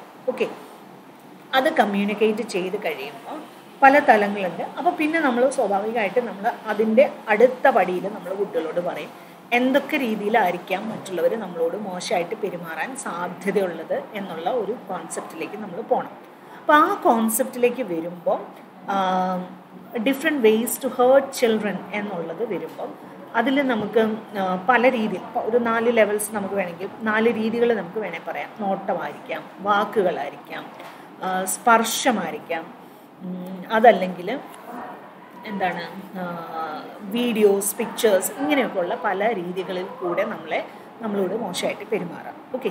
അപ്പം ഇങ്ങനെ മോശമായിട്ട് പെരുമാറുന്ന ഓരോ രീതിക്കും നമ്മൾ ഈ മൂന്ന് ലെവൽസ് നമുക്ക് വേണമെങ്കിൽ ഒന്ന് പറഞ്ഞു കൊടുക്കുന്നത് നല്ലതായിരിക്കും. അങ്ങനെ അതായത് സേഫ് ഉണ്ട് കൺഫ്യൂസിങ് ഉണ്ട് അൺസേഫ് ഉണ്ട്. ഇപ്പം നോട്ടം സേഫ് ആയിട്ടുള്ള നോട്ടമുണ്ട്. കൺഫ്യൂസിങ് ആയിട്ടുള്ള നോട്ടമുണ്ട്. അൺസേഫ് ആയിട്ടുള്ള നോട്ടമുണ്ട്. വാക്കുകൾ സേഫ് ആയിട്ടുള്ളതുണ്ട്. അൺസേഫ് ഉണ്ട്. കൺഫ്യൂസിങ് ആണ്. ഇങ്ങനെ നാല് കാര്യങ്ങൾക്ക് നമ്മൾ ഇങ്ങനെ ഒരു നാ മൂന്ന് സോൺസ് നമുക്ക് കുട്ടികളെ മനസ്സിലാക്കി കൊടുക്കാൻ പറ്റും. പിന്നെ നമ്മൾ നെക്സ്റ്റ് അഞ്ചാമത്തെ ഒരു സെഷൻ ആകുമ്പോഴത്തേക്കും നമ്മൾ ഫോക്കസ് ചെയ്യേണ്ടത് ടച്ചസിനെ കുറിച്ചിട്ടാണ് സ്പർശത്തെ കുറിച്ചിട്ടാണ് കാരണം അത് കുറച്ചുകൂടെ നമ്മൾ എംഫസൈസ് ചെയ്ത് കൊടുക്കേണ്ട കാര്യമാണ്. അപ്പോൾ ടച്ചസ് നമ്മൾ പറയുമ്പം സേഫ് ടച്ച് എന്താണ്? അൺസേഫ് ടച്ച് എന്താണ്? പ്രൈവറ്റ് ബോഡി പാർട്ട് എന്താണ്? എന്നുള്ള കോൺസെപ്റ്റൊക്കെ നമ്മൾ അവിടെ കുട്ടികൾക്ക് പറഞ്ഞു കൊടുക്കണം. അപ്പോൾ കൊച്ചു കൊച്ചു എന്താ പറയുക ഡയഗ്രംസ് ഒക്കെ വരച്ചു കൊടുത്താൽ അല്ലെങ്കിൽ നമ്മൾ പടമൊക്കെ വരച്ച് പ്രൈവറ്റ് ബോഡി പാർട്സ് മാർക്ക് ചെയ്തൊക്കെ കൊടുക്കുകയാണെങ്കിൽ അത് കുട്ടികൾക്ക് ഡൈജസ്റ്റ് ചെയ്യാവുന്ന രീതിയിൽ വേണം കേട്ടോ. അല്ലാതെ എന്താ പറയുക ജെനിറ്റൽസ് വരച്ചു കൊടുക്കാനോ ഒന്നും അല്ല ഞാൻ പറയുക. കുട്ടികൾക്ക് മനസ്സിലാവുന്ന കുട്ടികളുടേതായ ലാംഗ്വേജിൽ അവരുടെ പ്രൈവറ്റ് ബോഡി പാർട്ടിനെ പറ്റിയിട്ട് നമുക്ക് കമ്മ്യൂണിക്കേറ്റ് ചെയ്യാൻ പറ്റും.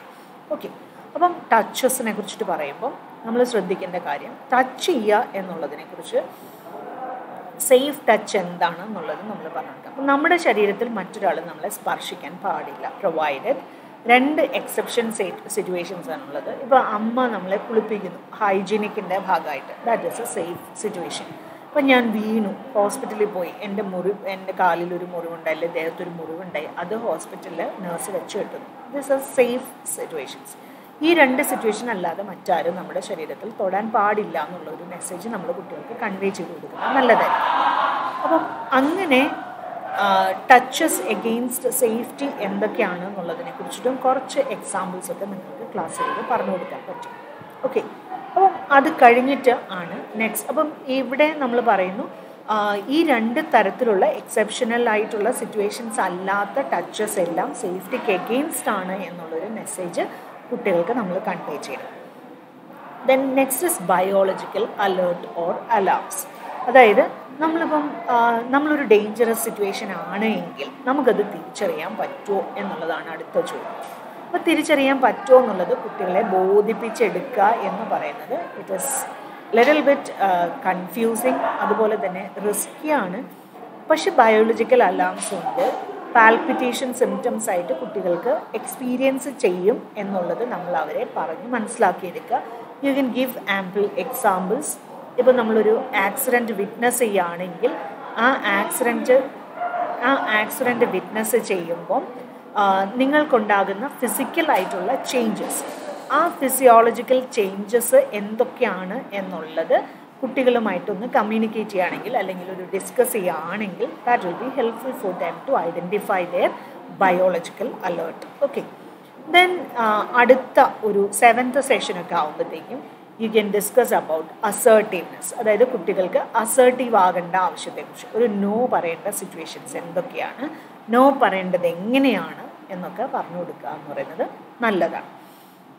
ദെൻ അപ്പം അസേർട്ടീവ് അസേർട്ടീവ്നെസ് നമ്മൾ കുറച്ചുകൂടെ ഫോക്കസ് ചെയ്യേണ്ട ഒരു കാര്യം കൂടിയാണ്. കാരണം എന്താണെന്ന് വെച്ചാൽ നമ്മുടെ സൊസൈറ്റിക്ക് ഒരു കുഴപ്പമുണ്ട്. നമ്മുടെ സൊസൈറ്റിയുടെ ഒരു വലിയ പ്രശ്നം എന്താണെന്ന് വെച്ചാൽ നമ്മൾ നം പ്രത്യേകിച്ച് നമ്മുടെ പെൺകുട്ടികളെ അസേർട്ടീവായിട്ടല്ല നമ്മൾ വളർത്തുന്നത്. അവർ അസേർട്ടീവ് ആകാൻ നമ്മൾ സമ്മതിക്കാറുമില്ല. പക്ഷേ ഇനി അങ്ങോട്ട് നമ്മുടെ കുട്ടികൾ assertive ആയില്ലെങ്കിൽ it is against their safety എന്നുള്ളൊരു വലിയ വിഷയം അവിടെ ഉള്ളതുകൊണ്ട് അവരെ അസേർട്ടീവ് ആകാൻ നമ്മൾ പഠിപ്പിക്കണം.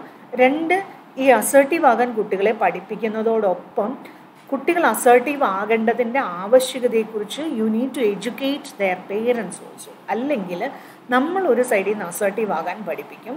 കുട്ടികൾ പേര കുട്ടികൾ വീട്ടിൽ ചെന്നിട്ട് അസേർട്ടീവ് ആകും.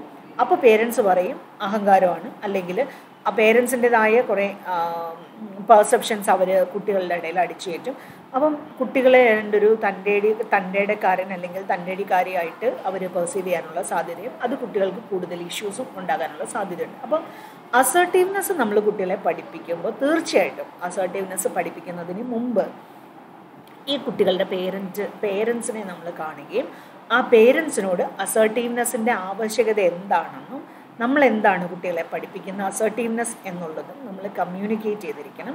കാരണം കുട്ടി വീട്ടിൽ അത്തരത്തിൽ അസേർട്ടീവായിട്ടുള്ള കാര്യങ്ങൾ വന്ന് കമ്മ്യൂണിക്കേറ്റ് ചെയ്യുന്ന സാഹചര്യം ഉണ്ട് എങ്കിൽ തീർച്ചയായിട്ടും ആ കാര്യങ്ങൾ എൻകറേജ് ചെയ്യേണ്ടതാണ് എന്നുള്ള ഒരു അവയർനെസ്സും ഓറിയന്റേഷനും പേരൻസിന് നമ്മൾ കൊടുക്കുകയും ചെയ്യണം.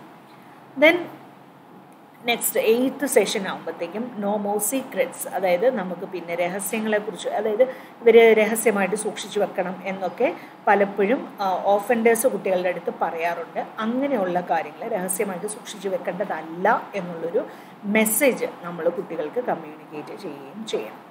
ആൻഡ് ഫൈനലി അപ്പം ആ ആ സോറി സീക്രട്സിന്റെ കാര്യം നോമോ സീക്രട്സ് എന്നുള്ള ഒരു കോൺസെപ്റ്റിൽ നമ്മൾ ഡിസ്കസ് ചെയ്യുമ്പോൾ ഒരു കാര്യം കൂടെ നമ്മൾ ശ്രദ്ധിക്കണം. ആരാണ് ട്രസ്റ്റഡ് അഡൾട്ട് അതായത് കുട്ടിക്ക് കുട്ടിക്ക് വിശ്വസിക്കാൻ പറ്റുന്ന അഡൾട്ട് ആരാണ്? കുട്ടിയുടെ സേഫ്റ്റി എൻഷുർ ചെയ്യുന്നത് ആരാണ്? എന്നുള്ളതിനെ കുറിച്ചിട്ട് ഒരു അവയർനെസ് അണ്ടർസ്റ്റാൻഡിങ് ഒക്കെ നമ്മൾ ഉണ്ടാക്കിയെടുക്കണം. അപ്പോൾ ട്രസ്റ്റഡ് അഡൾട്ട് എന്ന് പറഞ്ഞിട്ട് നമ്മൾ ഒരിക്കലും അമ്മ ട്രസ്റ്റഡ് അഡൾട്ടാണ് എന്ന് പറഞ്ഞു കൊടുക്കാൻ പാടില്ല. ഒരു കാലത്ത് ഞാൻ കാണിച്ചുകൊണ്ടിരുന്ന ഒരു മണ്ടത്തരാണ്. ഓക്കെ അപ്പോൾ ഇപ്പം ഞാൻ പക്ഷെ ഒരിക്കലും അങ്ങനെ ഒരാളെ മാത്രം ട്രസ്റ്റഡ് അഡൾട്ടായിട്ട് അവതരിപ്പിക്കാറില്ല. You can give number of options trusted adult എന്നുള്ളതിന് പല ഡിഫറെന്റ് ഓപ്ഷൻസ് നിങ്ങൾക്ക് കൊടുക്കാം. സേ ഫോർ എക്സാമ്പിൾ പേരൻസ് ആകാം ടീച്ചേഴ്സ് ആകാം ഒഫീഷ്യൽസ് ആകാം. You can approach child welfare committee അല്ലെങ്കിൽ ചൈൽഡ് ലൈൻ ഇങ്ങനെ ഉള്ള ഡിഫറെന്റ് ഡിഫറെന്റ് ആയിട്ടുള്ള ഓപ്ഷൻസിനെ കുറിച്ച് ട്രസ്റ്റഡ് അഡൾട്ട് എന്നുള്ള ഒരു കോൺസെപ്റ്റ് നമ്മൾ കുട്ടികൾക്ക് പറഞ്ഞു കൊടുക്കാൻ and last not but least നമ്മൾ തീർച്ചയായിട്ടും അഡ്രസ്സ് ചെയ്യേണ്ട ഒരു കാര്യമാണ് ഇപ്പം നമ്മളിങ്ങനെ പോയിട്ട് സ്കൂളിൽ പോയിട്ട് കുട്ടികളുടെ ഇടയിൽ എഡ്യൂക്കേഷൻ നടത്തുന്നു. ഓക്കെ. ആ എഡ്യൂക്കേഷൻ നടത്തുമ്പം ഇതിന്റെ അകത്ത് എന്റെ ഒരു ഒബ്സർവേഷൻ അനുസരിച്ചിട്ട് ഇപ്പം ഒരു അറുപത് കുട്ടികളുള്ള ക്ലാസ്സിലാണെങ്കിൽ ഒരു ഇരുപത് അല്ലെങ്കിൽ മുപ്പത് ഒരു പകുതി കൂടുതൽ കുട്ടികളെങ്കിലും സെക്ഷൽ അബ്യൂസിന് വിക്റ്റിം ആയിട്ടുള്ളവരായിരിക്കും. ചിലപ്പോൾ ഒരു ട്വന്റി പെർസെന്റേജ് ആയിരിക്കും ചിലപ്പം സെക്ഷൽ അബ്യൂസിന് വിക്റ്റിം ആയിട്ടില്ലാത്തത്. ഒന്നല്ലെങ്കിൽ അതുകൊണ്ട് പെനിട്രേറ്റീവ് സെക്ഷൽ അസോൾട്ട് അല്ല ഞാൻ ഉദ്ദേശിക്കുന്നത്. സെക്ഷൽ ഹരാസ്മെന്റ് എന്നുള്ള ഇൻ ജനറൽ വേ ആയിട്ടുള്ള ആ ഒരു അമ്പർല ടേം വരുമ്പോൾ ഒന്നല്ലെങ്കിൽ വേറൊരു തരത്തിൽ അബ്യൂസിന് വിക്ടിംസ് ആയിരിക്കും എല്ലാവരും. അപ്പോൾ ഇവർക്കൊക്കെ ഉണ്ടാകാൻ പോകുന്ന ഒരു കാര്യം എന്താണെന്ന് വെച്ചാൽ ഓക്കെ ഞാൻ ഇങ്ങനെ വിക്ടിമൈസ് ചെയ്യപ്പെട്ടു എന്നുള്ള ഒരു അണ്ടർസ്റ്റാൻഡിങ് വരുമ്പോൾ അവർക്കതൊരു സെൽഫ് ബ്ലെയിമും ഗിൽറ്റി കോൺഷ്യസും ഗിൽറ്റ് ഫീലിങ്ങും ഒക്കെ ഉണ്ടാക്കാനുള്ള കാര്യങ്ങളിലേക്ക് വരാറുണ്ട്. അപ്പോൾ അങ്ങനെയുള്ള സിറ്റുവേഷൻസിൽ we need to be very careful അപ്പം നമ്മൾ പറയണം ചിലപ്പം ഈ സിറ്റുവേ നിങ്ങൾ ഇതുപോലെ ചിലപ്പോൾ ആരെങ്കിലുമൊക്കെ ഇങ്ങനെയുള്ള ഈ സിറ്റുവേഷൻസിൽ കൂടെ വന്നിട്ടുണ്ടാവാം. അത് നിങ്ങളുടെ കുഴപ്പമല്ല. It is the problem of the other person എന്നുള്ളതും അത് തെറ്റല്ല എന്നുള്ളതുമായിട്ടുള്ള ഒരു കൃത്യമായ കമ്മ്യൂണിക്കേഷനും നമ്മൾ കുട്ടികളുടെ അടുത്ത് കൊടുക്കണം. അപ്പം ഇത്രയും കാര്യങ്ങളാണ് ഞാൻ എന്റെ മോഡ്യൂളിൽ പൊതുവെ കുട്ടികളുടെ സേഫ്റ്റിയുമായി ബന്ധപ്പെടുത്തി പറയാറുള്ള കാര്യങ്ങൾ ഈ ഈ കാര്യങ്ങൾ കുട്ടികളുമായിട്ട് നമ്മൾ കമ്മ്യൂണിക്കേറ്റ് ചെയ്യുക എന്ന് പറയുന്നത് ഇന്നിപ്പോൾ ഞാൻ ഇത്രയും പറഞ്ഞു. അത് കേട്ടിട്ട് നാളെ പോയി കമ്മ്യൂണിക്കേറ്റ് ചെയ്യാം എന്നൊന്നും വിചാരിച്ചാൽ ചിലപ്പോൾ നടക്കണം എന്ന് യാതൊരു നിർബന്ധവും ഇല്ല.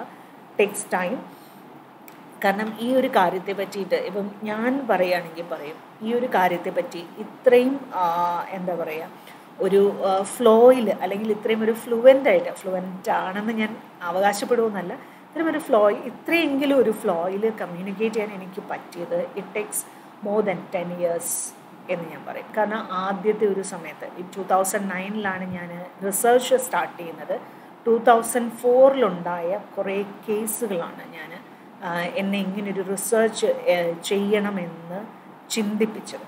അപ്പം ആ ഒരു കാലഘട്ടം തൊട്ട് ഇങ്ങോട്ട് വന്നിട്ടുള്ള കേസുകൾ കുട്ടികൾ ഇന്ററാക്ട് ചെയ്തത് ഇതെല്ലാം ഇന്ന് ഞാൻ ഈ പറയുന്നതിനെ സ്വാധീനിക്കുന്നുണ്ട്. So I will be able to communicate it പക്ഷേ പെട്ടെന്ന് ഒരാൾക്ക് ഓൾ ഓഫ് എ സഡൻ ചെന്നിട്ട് ചിലപ്പോൾ ഇത് പറയാനായിട്ട് കമ്മ്യൂണിക്കേറ്റ് ചെയ്യാനായിട്ട് പറ്റി എന്ന് വരില്ല.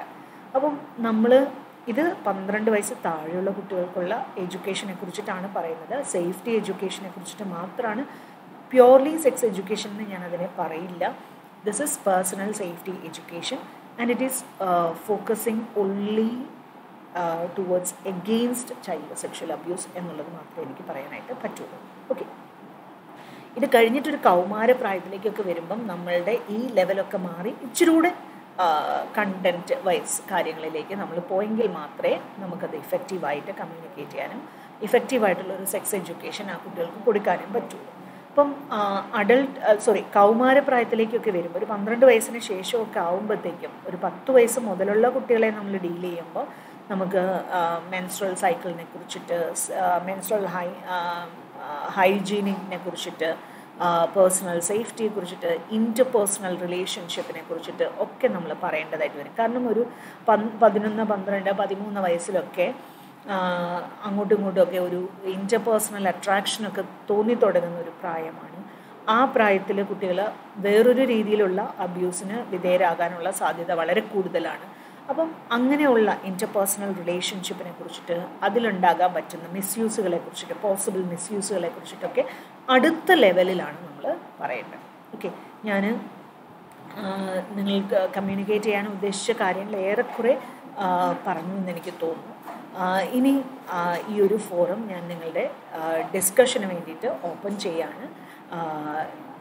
You can ask questions queries ഉണ്ടെങ്കിൽ ചോദിക്കാം. കാരണം ഇവിടെ ഇതിൽ ഇതിലെനിക്ക് തോന്നുന്നു ഞാൻ ഒരു ഞാൻ ഇനിയും കുറച്ചുകൂടെ തിയറി പറഞ്ഞുകൊണ്ടിരുന്ന you will not get any any any opportunity to interact അപ്പോൾ ആ ഒരു ഇന്ററാക്ഷന് വേണ്ടിയിട്ടുള്ള ഒരു സിറ്റുവേഷനായിട്ട് ഞാനതിനെ കൺവേർട്ട് ചെയ്യണം. Okay thank you for your patient lesson